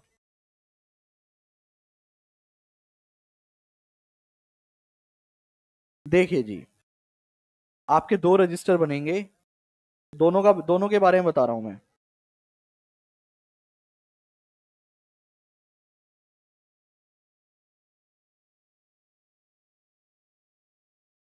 एक आपका बनेगा राइटिंग प्रैक्टिस का रजिस्टर ठीक है? दूसरा आपका रजिस्टर बनेगा नोट्स का, ठीक है? अभी नोट्स वाले रजिस्टर में मैंने कोई आपको ज़्यादा सजेशन नहीं दिए हैं, सिर्फ़ ये बोला है, इसके अंदर आप तीन चीज़ें मेंशन कर लेना अभी तक। नंबर वन जो लेक्चर वन का चार्ट है, वो number two lecture two flow for it ठीक है? इसके अलावा कुछ नहीं। इसी रजिस्टर के फ़र्स्ट पेज पे आपने अपने मार्क्स लिखे होंगे। ठीक है? दूसरा राइटिंग प्रैक्टिस का रजिस्टर है। इसमें आपने क्या करना है? सबसे पहले मैंने जो राइटिंग प्रैक्टिस के लिए आपको काम दिया है, वो दिया है इंडिपेंडेंस ऑफ़ ऑडिटर और आज मैंने आपको दूसरा क्वेश्चन दिया है इनहेरेंट लिमिटेशन ऑफ़ ऑडिट ये दो कंसेप्ट आपको तैयार करने हैं।